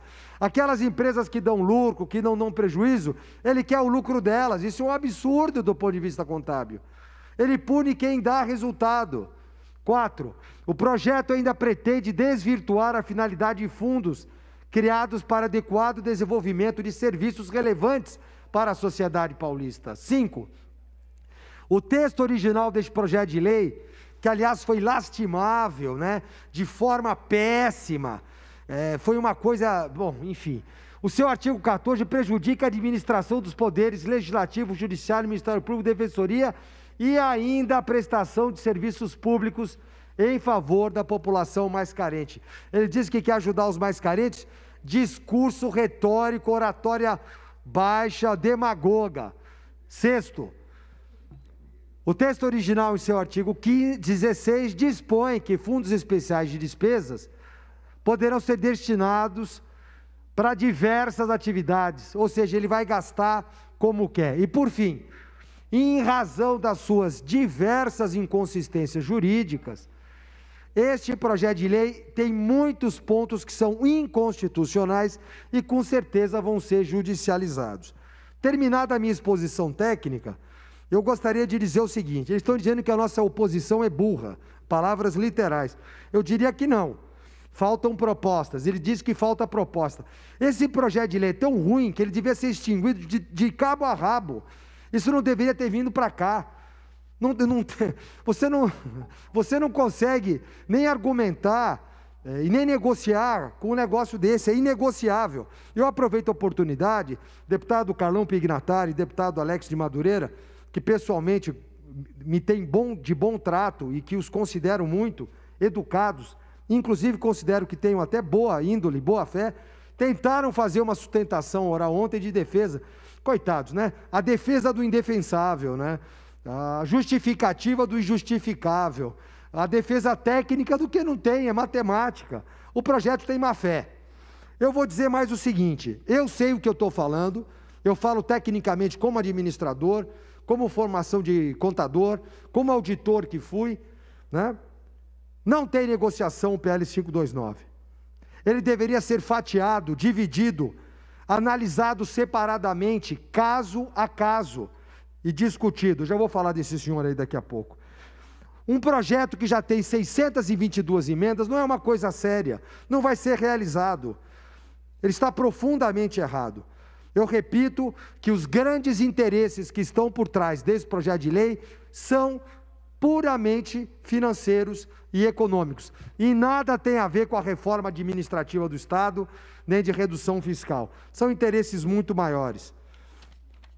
Gostaria de também deixar claro que o nosso cenário atual, pós-pandemia, não permitiria um projeto de lei nesse momento. Ele, além de ser ruim na forma e no conteúdo, ele é ruim no momento em que ele é apresentado. Ou seja, é um teatro de mau gosto, né? Ele vai aumentar a carga tributária, ele vai aumentar o custo de vida, ele vai aumentar mais ainda o desemprego tem alguns analistas do nosso gabinete que já fizeram uma conta que vai até 100 mil desempregos diretos. Não é, é os desdobramentos do processo. E vai acabar com os serviços essenciais, além de prejudicar a educação. Ou seja, nós estamos diante de um governo que, lamento dizer, não é confiável. E como dito por grandes autoridades experientes dessa casa, além de não ser confiável, não cumpre aquilo que promete, não cumpre aquilo que trata não cumpre aquilo que intenciona fazer. Então não tem credibilidade e não tem como ficar do lado de um governo desse. Né? O suposto equilíbrio fiscal, a reforma administrativa, não procede. Afinal de contas, o governo Dória não está entregando o que anuncia. Muito bem. Quem é que vai ganhar com tudo isso? Alguém vai ganhar. E não é o povo de São Paulo. Já indo para o meu final, presidente, eu defendi aqui a redução do ICMS da aviação, porque justifiquei, achei que era bom, achei que ia gerar emprego. Né? Me matei para defender um negocinho desse tamanho assim. Ó. Né? O senhor me avisou, deputado Barba. Né? Fui passado de otário. Me, me, me, me, me deram passa-moleque. E no final ele vem com um negócio desse aqui, que eu fiz papel ridículo aqui nessa casa. Né? Queria agradecer o discurso de outros deputados que me antecederam ontem e hoje o deputado Barba, parabéns pelas suas colocações. Deputado Melão, Paulo Fiorilo, falou com muita propriedade. Enio Tato, Leci Brandão, Caio França, Edna Macedo, Ed Thomas, Barros Munhoz, que já falou, já me deu uma aula e vai falar novamente após mim. Frederico Dávila, doutora Janaína Pascoal, Carlos Gianazzi, Daniel José, Douglas Garcia, entre outros. Ou seja, pela primeira vez nessa casa, talvez a maldade nos una porque nós não estamos falando mais de um discurso ideológico, que pode ser até saudável, mas estamos falando de um discurso de salvar o Estado de São Paulo, de salvar, de salvar emprego, de salvar famílias. A maldade é tão grande que seja. É, nos deixa até atônitos assim. Eu estou emocionado, eu vou terminando o meu discurso, é, desejando e dizendo o seguinte: temos umas eleições municipais pela frente. Eu vou fazer uma relação de todos os deputados que forem votar a favor dessa palhaçada. Eu vou colocar o nome dele, o partido dele, é um direito dele votar, ele vai estar recebendo, então, mas eu quero que a população saiba. Aquele deputado daquele partido, daquela cidade, que vai apoiar aquele prefeito e aquele vereador, você, por favor, cidadão, olhe para essa lista e não vote nesse prefeito ou nesse vereador que esse deputado vai aprovar, vai apoiar, porque ele não merece o nosso crédito porque ele está vendido. Muito obrigado. Somos todos um só. Agradeço, nobre deputado, pelas palavras. Continuando a lista dos oradores inscritos no grande expediente, eu gostaria de chamar para fazer uso da palavra o nobre deputado Coronel Telhada, nobre deputado Caio França, que por permuta passa o tempo ao excelentíssimo senhor deputado Barros Munhoz, ministro de Estado.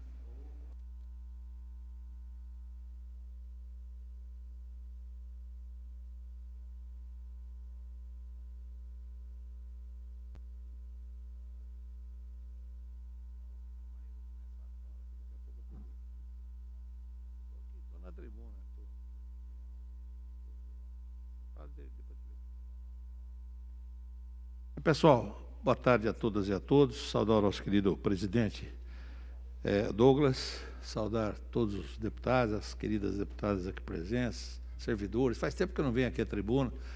É, vou até pedir licença para tirar a máscara, estou com uma distância bem. Mantém? Ah, então tudo bem, não. É, é, é, sinceramente, é que eu tenho dificuldade, viu? não é nada, não. Eu não consigo falar. Mas tudo bem, não, não, não eu, eu, entendo. É, a causa maior sobrepõe-se à menor. Tudo bem, um pequeno sacrifício vale a pena. Mas eu queria dizer, até peço desculpas, o, o tema é outro, mas eu não quero tocar fora da, da, da, da, da, da pauta. Mas hoje é um dia muito especial para mim, querida Itapira. Nós estamos comemorando querida deputada Marcelia, 30 anos do Hospital Municipal de Tapira. É, nós começamos em 77, quando eu assumi a prefeitura, um trabalho muito sério em prol da saúde pública. Eu ouvia falar que tinha que ter pronto-socorro, pronto-socorro, pronto-socorro. Aí eu fui visitar um recém-inaugurado em Mojimirim e tinha lá um equipamento bonito e, e o paletó é, colocado em cima desse equipamento. Aí eu perguntei para o enfermeiro que estava lá, foi de noite que nós somos. Eu falei, e esse equipamento aqui, para que, que serve? Ele falou, oh, para que serve eu não sei, nós usamos como cabide.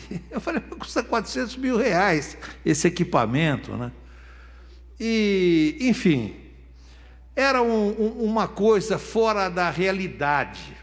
Então eu fui estudando, estudando, estudando, estudando, vivi uma época importante, que era um movimento pela saúde pública no Brasil, que foi ganhando força e que acabou trans, se transformando no SUS. A criação do SUS veio dessa época. Eu vivi essa época, 1977.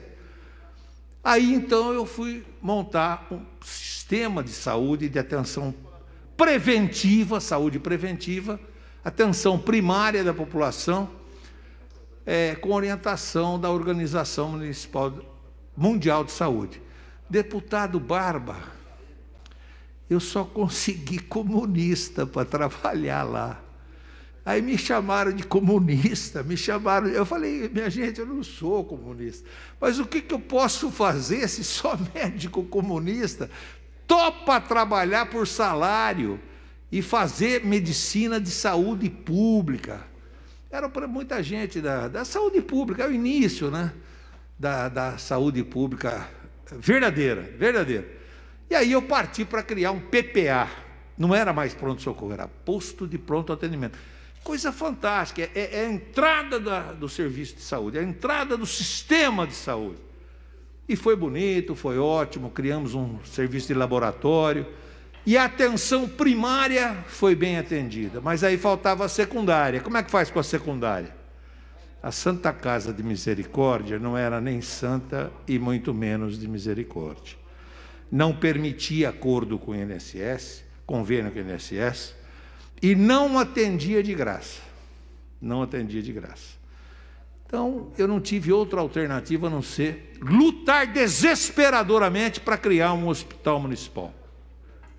Algo impossível para uma cidade naquela época de 50 mil habitantes e consegui, graças a Deus, com o apoio do povo da minha cidade, com o apoio do governador da época, Orestes Quercia, com o apoio de muita gente, transformar algo tido como absolutamente impossível em algo possível. Um hospital digno que atende tão bem quanto ou melhor do que qualquer hospital particular que cobra caro dos seus é, beneficiários. E assim, meu querido Gilmaci, nós fomos em frente e hoje estamos comemorando 30 anos.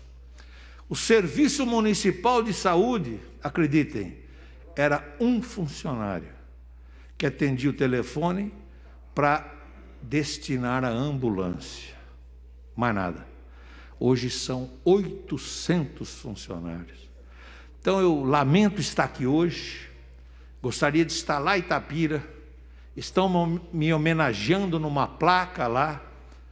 É duro para mim estar aqui e não estar lá hoje, mas eu quero dizer o seguinte, minha gente: que se tudo que eu fiz na minha vida não valeu a pena nada, a minha vida valeu se apenas o hospital municipal for considerado como uma parte de uma luta minha. Foi duro. Como é difícil você fazer as coisas nesse país. Foi duro. A oposição que eu sofri foi trágica. Processos foram movidos contra mim. Luta de toda espécie, perseguição de toda sorte. Nós fizemos o hospital municipal. E hoje atende já atendeu, já salvou mais de 30 mil pessoas em 30 anos. Então eu faço questão de registrar. A vida não é só feita de coisas ruins. Hoje, uma comemoração fantástica para uma cidade que pode se orgulhar. Matéria de saneamento básico, 100% de água tratada, 100% de esgoto coletado e tratado e 100% do lixo coletado e destinado num aterro sanitário. Educação desde o zero ano nas creches até a faculdade de graça. E saúde, como eu mencionei. Então, eu me sinto feliz e realizado. Agora, me sinto triste. Ah, queria fazer uma homenagem ao Danilo. Primeiro, eu demorei para saber porque o Danilo era sempre chamado antes de mim na chamada, antes do Barros Munhoz. Eu falei, mas por que, que negócio é esse de D antes do B? Aí ele me explicou que ele é o delegado né? Então, ele entra antes do. É, não, não é delegado, ele é agente, agente. Então ele entra antes do, do Barros Munhoz. Mas eu queria parabenizá-lo e em nome dele a Polícia Federal. Olha, eu vou fazer uma crítica ao Moro. O doutor Moro, o senhor não fez nem um décimo do que a Polícia Federal está fazendo no tempo que o senhor ficou lá. Aliás, para ser bem franco, o senhor não fez nem um centésimo. Eu acho que o senhor é mais vedete do que dirigente, viu? Doutor Moro, a federal agora está trabalhando. Parabéns à federal. Aliás, eu acho, vou tomar a liberdade aqui de falar uma. Eu já estou na idade de poder falar o que pensa, né? Então eu queria dizer o seguinte: vamos reduzir o número de delegados na nossa civil e vamos melhorar, vamos qualificar. É o que a federal fez, é o que a federal é. Não adianta você ter 150 mil servidores, todos mal remunerados, todos é, vilipendiados. Mas, para concluir, eu queria dizer alguma coisa sobre o 529. Hoje foi um dia muito triste para mim. Desde que eu entrei na Secretaria da Agricultura, eu criei a carreira do assistente técnico agropecuário, Valorizei os engenheiros agrônomos, os veterinários, os zootecnistas. Isso é uma unanimidade na Secretaria da Agricultura. Ontem, eu disse que era um absurdo, a meu ver, extinguir-se o ITESP, transferindo-se o trabalho exe executado pelo ITESP à Secretaria da Agricultura. E repeti, e disse, e falo, e afirmo, a Secretaria está com 300 casas de agricultura sem fazer nada. É óbvio que não fazem nada, não é porque os servidores são maus servidores. Quem me conhece sabe que eu jamais falaria isso. Jamais falaria isso. A minha vida inteira eu me dediquei a valorizar o servidor público da Secretaria da Agricultura, até porque fui secretário e fui ministro. E se há uma coisa boa nesse país é servidor público. Não é servidor privado, não. É que o servidor público tem que trabalhar esmiuçado no, na, na, na, na, pequena a, a, crítica, conceito a, absolutamente jogado, pisoteado por muita gente. Então eu quero lamentar, para mim é uma, uma espada no coração essa carta que eu recebi do meu querido amigo Sérgio Dil. É óbvio que o que eu quis dizer, e repito, é uma loucura você dizer que está fechando o ITESP e vai passar para a secretaria está fechando as portas. Está querendo extinguir as casas de agricultura, nós sabemos disso, eu estou até evitando isso. Né? Eu estou até evitando. Tenho participado de um, de um grupo que está pedindo ao vice-governador, não permita isso, esse projeto não é hora de se discutir, vamos melhorar essa situação. E para concluir, eu queria dizer o seguinte, sobre o 529, tem muita coisa com a qual não concordo. E uma é essa. Eu acho que não precisa ser dez empresas extintas. Por que não pode ser oito?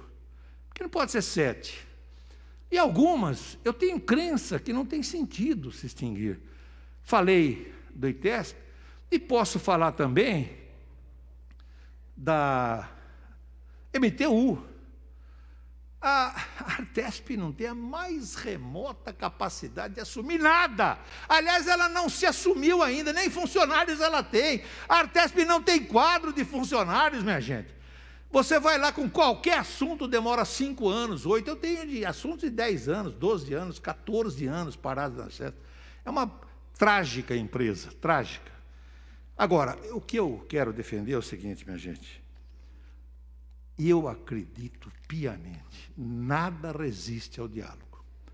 Eu acho que nós temos que continuar batalhando. Como é que vai ficar isso? Como se melhorar essa situação? Sempre existe, sempre existe. Eu vi uma emenda que está correndo da deputada Janaína. Será que é ela que é a coisa mais certa? Será que não é ela? Será que é um outro compromisso, um outro projeto de lei? Várias vezes eu aqui, quando presidente, e quando líder do governo, condicionei, nós vamos aprovar se em seguida vier um outro projeto assim, assim, assado. Várias vezes eu fiz isso.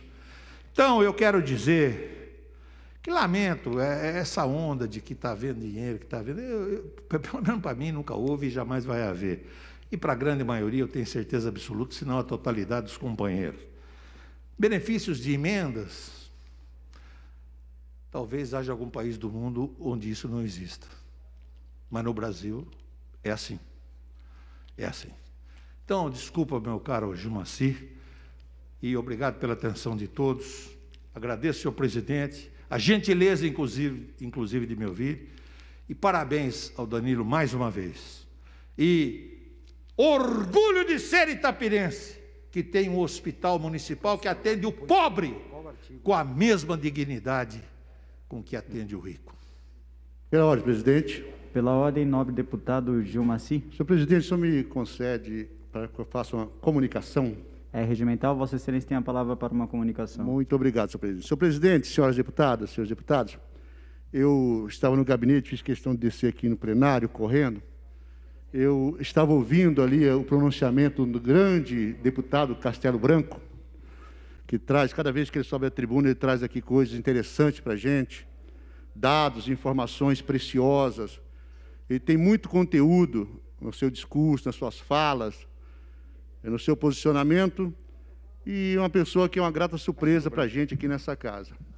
Mas uma coisa me chamou a atenção e eu fiz questão de descer aqui, que no final da sua fala, nobre deputado Castelo Branco, o senhor diz ali que vai divulgar nas suas redes sociais o nome de todos os deputados que votaram favorável a esse projeto. Vai votar, vai divulgar e vai inclusive dizer os prefeitos que eles estão apoiando. Eu vim aqui ajudar Vossa Excelência, facilitar isso para o senhor. Dizer, vou votar favorável, meu nome é Gilmaci Santos, vou votar favorável, vou apoiar vários prefeitos em várias cidades, inclusive o prefeito da capital de São Paulo, que disputa a eleição hoje, que está em primeiro lugar, que é o Celso Sumano, estarei apoiando ele, inclusive fazendo parte da coordenação da campanha. Pode soltar isso na rede social do senhor. Fique bem à vontade. Não nos preocupa com isso. Porque o que nós fazemos aqui, não fazemos escondido. Já fui à tribuna e disse que sou favorável ao projeto. O senhor tem a sua ideologia, o senhor tem a sua, o seu pensamento e eu tenho o meu. Eu acho que esse jogo não é bom.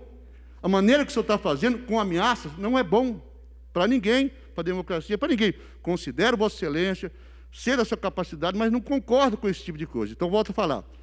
Gilmar Santos, voto favorável, sou do Republicanos e apoio vários prefeitos, inclusive o Celso Somano aqui na capital. Ah, Campinas, estamos com o Republicano também apoiando um prefeito lá. Osasco também, republicanos apoiando o prefeito. Sorocaba, inclusive o prefeito, no primeiro lugar nas pesquisas. E mais 140 cidades onde o republicano terá candidatura a majoritária. E fora outros que nós estamos amassa, apoiando também pessoas que não são do republicano, mas estamos coligados. Então, deputado Castelo Branco, o senhor fique bem à vontade. E se precisar de mais algum dado a respeito, é só me procurar, que eu estou à sua disposição. Obrigado. Pela ordem, senhor presidente. Pela ordem, novo deputado Barba. Para falar pelo artigo 82, nome da bancada do Partido dos Trabalhadores, e juntar aos cinco minutos, dois minutos de reclamação no final dos cinco. É regimentar o pedido de Vossa Excelência. Tem o deputado Barba a palavra pelo artigo 82, em nome da liderança do PT. Gostaria de chamar para assumir os trabalhos aqui na presidência o nobre deputado Gilmaci. Senhor presidente Douglas Garcia, nobres deputadas Marchalia, Mônica Seixas, nobres deputados. Eu agora não vim fazer discurso político. Nosso primeiro trabalho aqui hoje é começar, deputado Frederico Dávila, começar a organizar desde já para tentar derrotar o projeto 529. Não é fácil, que a mão pesada do governo pelos corredores de 30 milhões de reais de emenda para cada deputado que votar a favor. Isso é o que circula nos bastidores. Bom, não, não é não, Mônica. É 30 para cada deputado, 15 em 2021, 15 em 2022. Entendeu? Isso. Um bi e meio.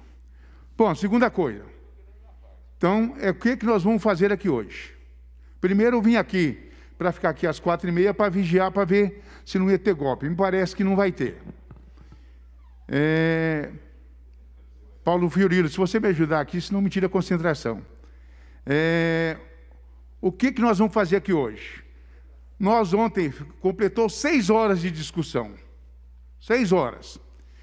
Ainda tem uma lista de deputados inscritos, ainda falta deputados contrários se inscrever.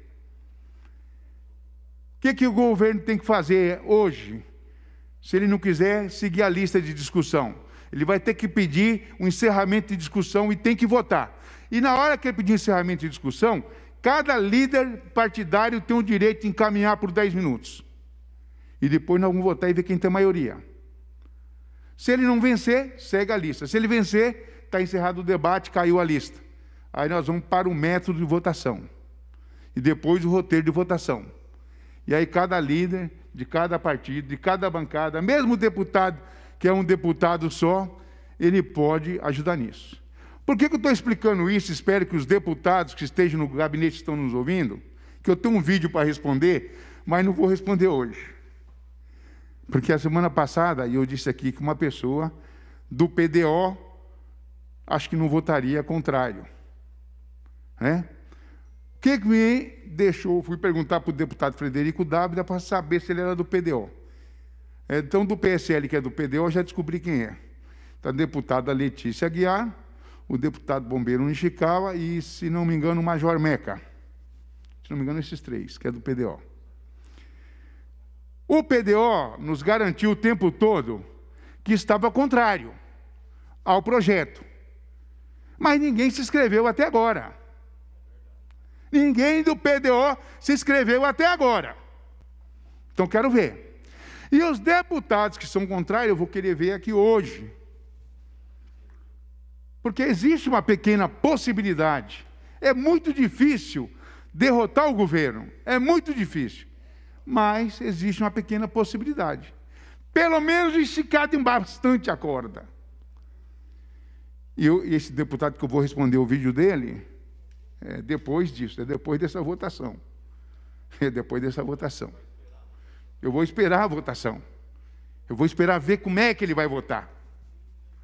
É por isso que eu vou esperar. A depender da votação dele, eu peço desculpa. A depender da votação dele, eu falo não. Não tem desculpa. Aí o cacete vai comer aqui na tribuna. É, é desse jeito que funciona. Porque ele está fazendo uma acusação que eu reconheço que tem o erro da minha parte. Mas eu vou aguardar a votação, viu, deputado Federico Dávila? É do seu partido. eu vou esperar. Bom, qual que é o outro problema que tem, que nós vamos ter que enfrentar aqui? É o grande debate, Douglas Garcia. O grande debate é que esse projeto é tão ruim que ele conseguiu juntar PT, a oposição, mais deputados do PSL, mais deputados do Novo. Eu entrei ali agora, acabei de cumprimentar o deputado Frederico Dávila pelo discurso que ele fez da tribuna, né, aqui ontem. Eu reconheço, foi um discurso pesado, forte, e de quem está com posição firme para votar contra o projeto. Porque tem uns que ficam assim, olha, não sei, não sei. O governo me desafiou, falou assim: você quer apostar o quê? Os, os líderes. Você quer apostar o quê que vocês dançaram? O governo, não vou apostar nada. O governo tem máquina, o governo tem dinheiro. O governo tem a mão pesada, o governo tem cargos. Vários deputados aqui que vão votar aqui tem que dizer, Gilmar que tem cargos junto com o governo. E se você ficar contrário, você perde os cargos. Eu também vou fazer igual o meu amigo Coronel Castelo Branco. Eu vou dizer o nome dos deputados. Já disse o nome de uma hoje. Maria Lúcia Amarilá e Sorocaba é a favor do projeto. Carla Morando e São Bernardo, o marido é candidato à eleição, é a favor do projeto. Rafa Zimbaldi, eu não sei ainda, é candidato em Campinas. Eu não ouvi ele se manifestar até agora. E eu vou dizer, eu vou, eu vou publicar. E nós vamos fazer isso, é guerra. É guerra. Você não tem coragem, Gilmacir, no seu discurso aqui ontem, de falar que o projeto demite 5.700 trabalhadores. Se você estivesse defendendo que as empresas fossem extintas, e que realocasse esses trabalhadores para um outro posto, ainda falar assim, ó, o Gilmar é coerente, é razoável. No momento de pandemia, no momento de 13,6% da população econômica ativa desempregada, dados de hoje, da PNAD contínua. Então é isso que nós estamos debatendo, é isso que nós estamos discutindo. É quem está do lado de quem. Como é que ataca uma empresa igual a ITESP, uma empresa igual a CDHU, uma empresa igual a MTU, a SUSEM, Superintendência, Frederico Dar, de combate a endemias como leishmaniose, é, é, a chikungunya, a febre amarela é, é, é, e outras, e mata o borrachudo na praia. Você não mata borrachudo jogando veneno no ar. Sabe como é que mata? Os agentes da SUSEM têm que entrar mata dentro, pinga, botar o remédio para ficar pingando o dia inteiro lá nas nascentes o borrachudo vai beber água, aí morre. É assim que se combate. E aí diz que é cabide de emprego. Nós, deputados aqui, muito bem assalariados, nesse momento o salário reduzido, né? falamos que, tem deputado aqui falando, que um trabalhador, funcionário público, que ganha 5 mil, 6 mil reais, é um privilegiado. E a imprensa faz isso. Porque dentro do funcionalismo público tem uma parte dos servidores muito bem qualificado que ganham um bom salário.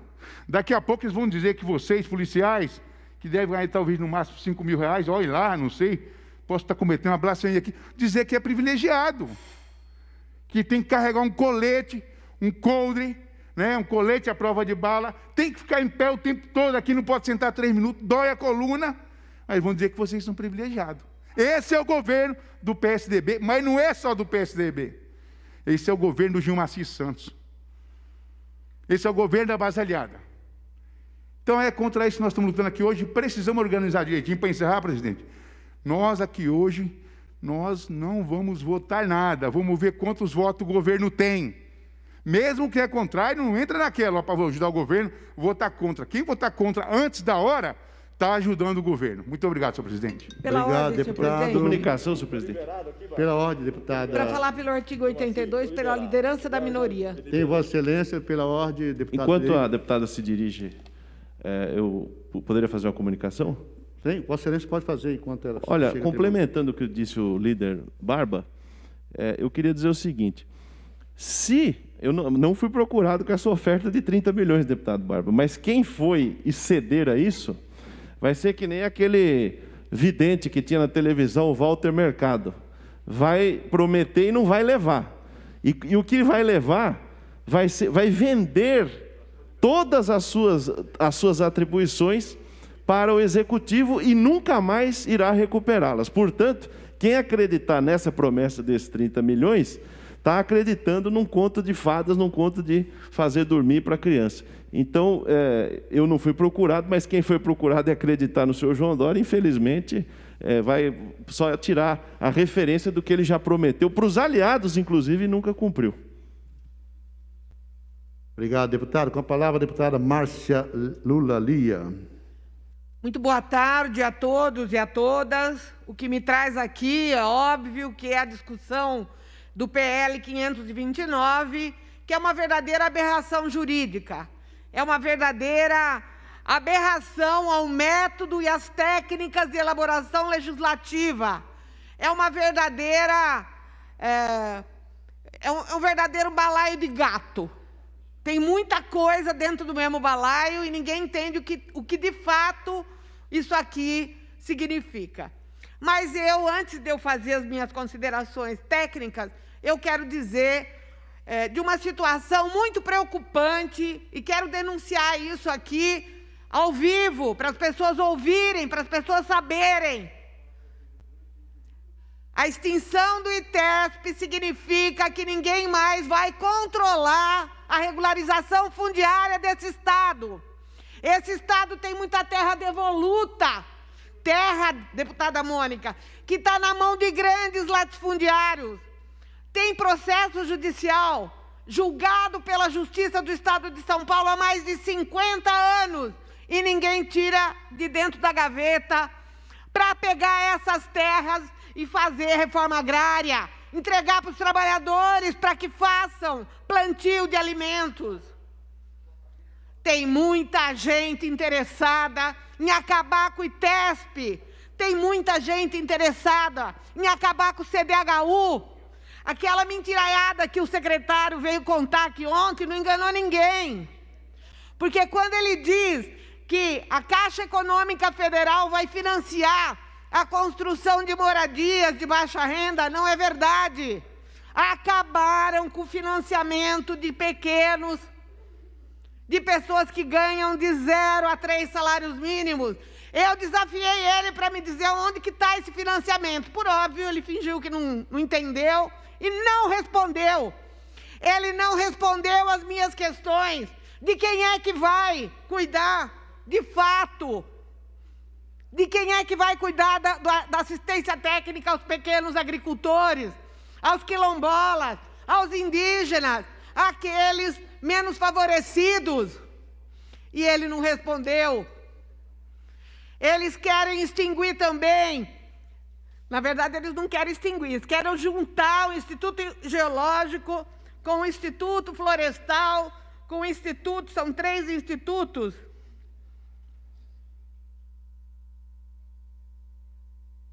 Não estou achando aqui onde está, mas são três institutos.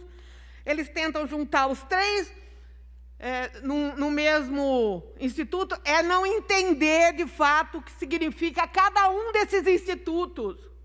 Eu fui conversar com o secretário da Agricultura e o secretário da Agricultura disse que ele vai fazer uma revolução na secretaria dele. Só que ele não tem um centavo para fazer a revolução. Eu disse: como é que o senhor pretende fazer isso, secretário? Se o seu orçamento a cada ano que passa, ele é reduzido. As casas da agricultura, elas estão em petição de miséria, tanto do ponto de vista físico quanto do ponto de vista da estrutura dos servidores. E ele, por óbvio, diz que vai fazer aos pouquinhos. Aí ele extingue toda a prestação de serviço, ele acaba com toda a prestação de serviço para a comunidade e depois ele vai ver como é que ele vai resolver. Aliás, ontem, quando vários deputados e deputadas questionaram o secretário Mauro Ricardo, ele disse várias vezes vai ser absorvido pela Secretaria de Saúde, vai ser absorvido pela Secretaria de Agricultura. Mentira! As secretarias não têm a menor condição de sobrevivência. Que dirá de absorver mais serviços? Para se conseguir um exame, se demora às vezes dois anos, a pessoa descobre que está com câncer e depois ela não consegue fazer o exame. Morre antes de conseguir fazer o exame. Agora vai absorver serviços que são feitos pelo Oncocentro, vai contar para outro. Não é verdade. É uma grande mentira. É para passar dinheiro para iniciativa privada, é para entregar o patrimônio público, é para vender o patrimônio público.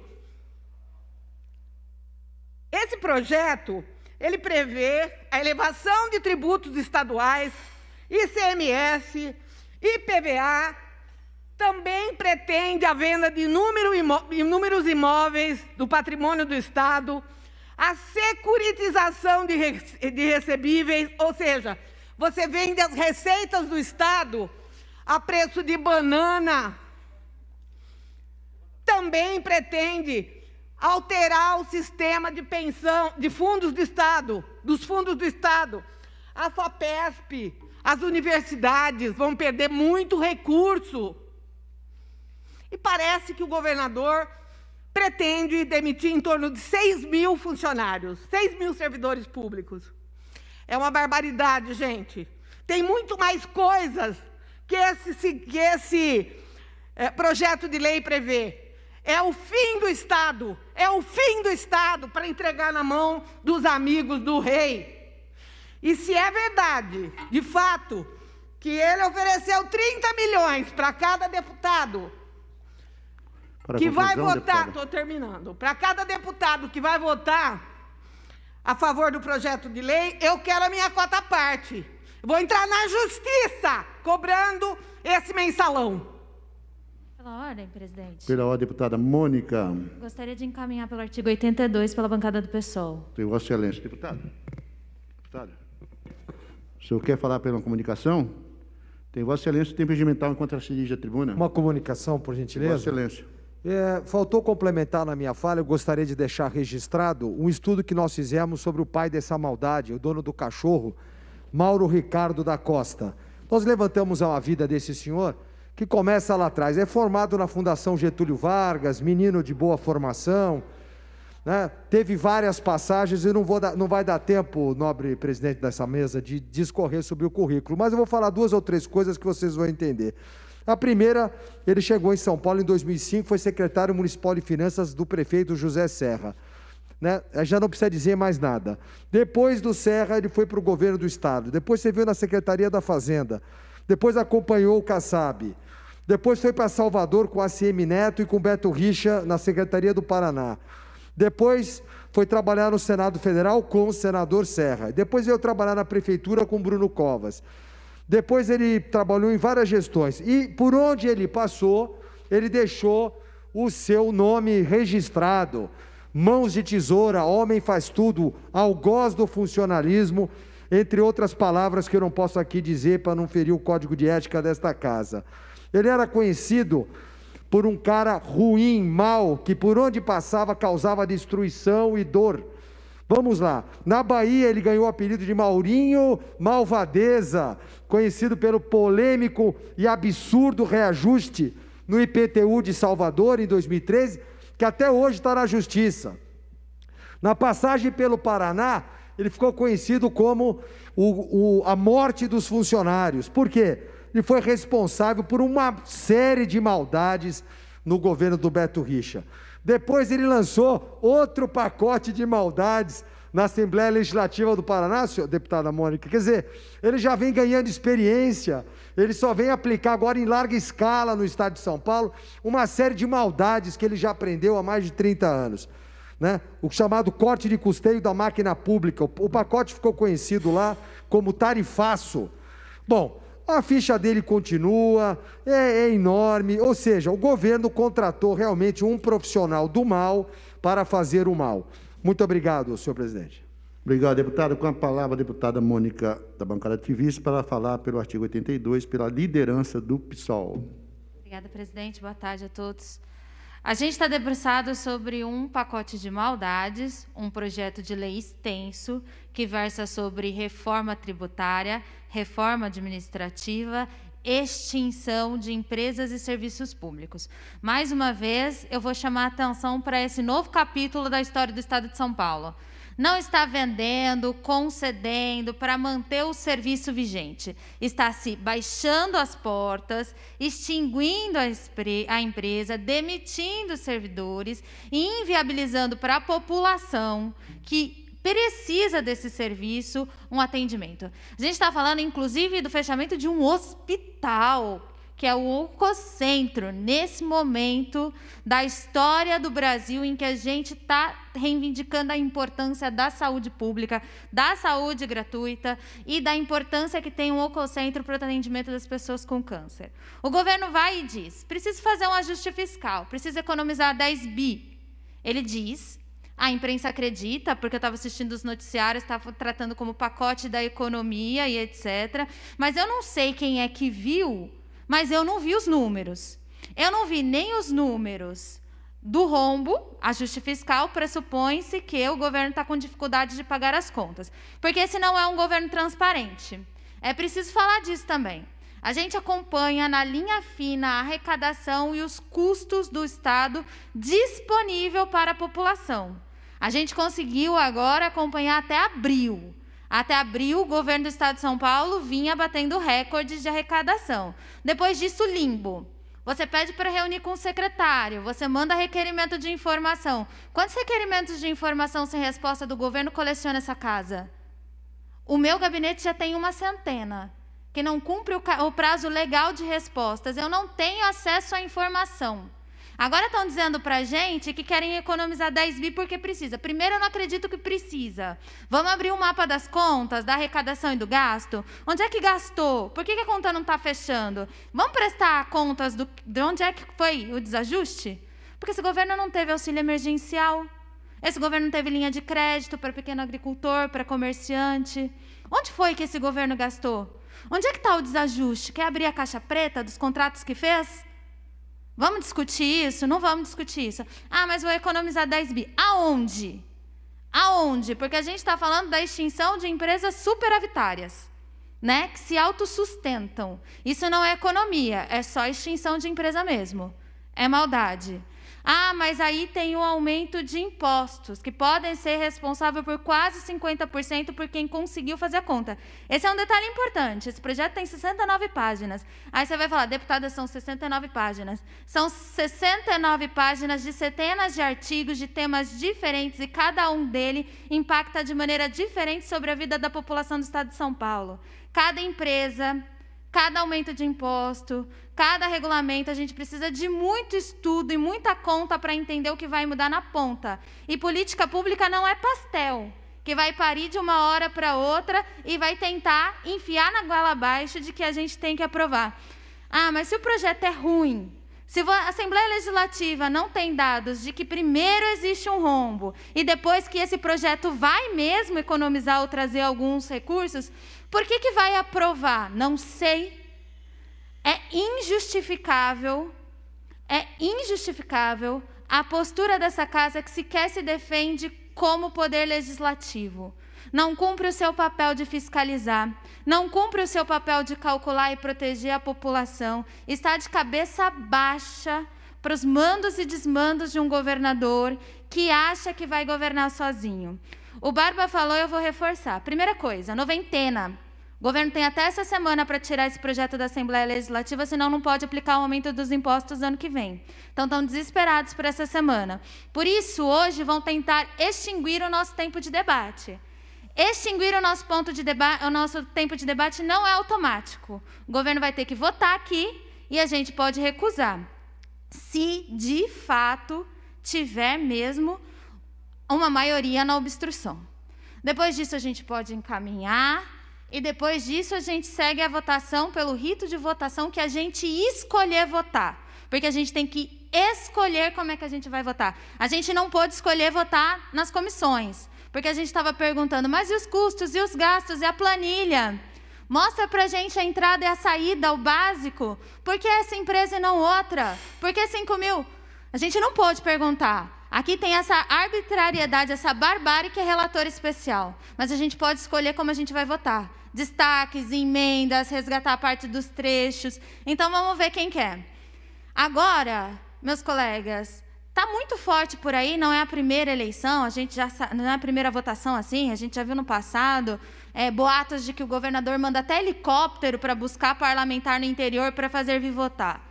Está dizendo que está ameaçando a demitir os cargos que tem no governo. Estão dizendo que estão oferecendo 30 milhões em emendas a mais para o parlamentar que for favorável, desses que estão silenciosos, que não defendem o projeto, porque não tem como defender esse projeto que é ruim.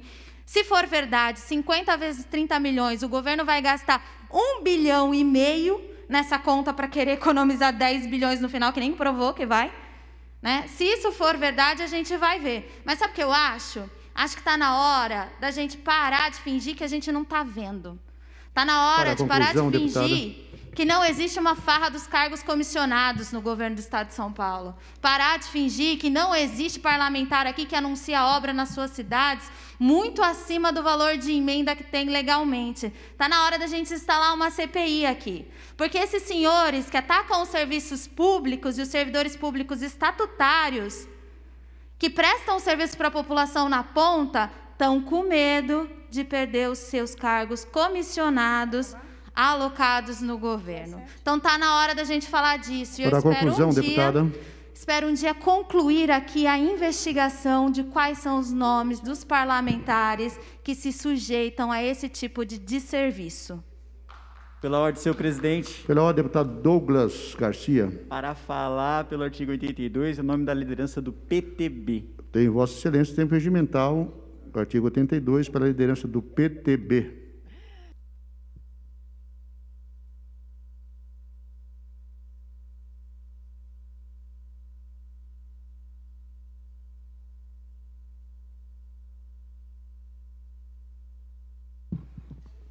Senhor presidente, eu quero aqui, em raras exceções, em situações completamente raríssimas, tão raríssimas quanto o cometa Harley ou qualquer outro tipo de fenômeno astronômico, astrológico, seja lá qual for a terminologia, concordar em, em gênero, número e grau com o que foi dito pela deputada Mônica.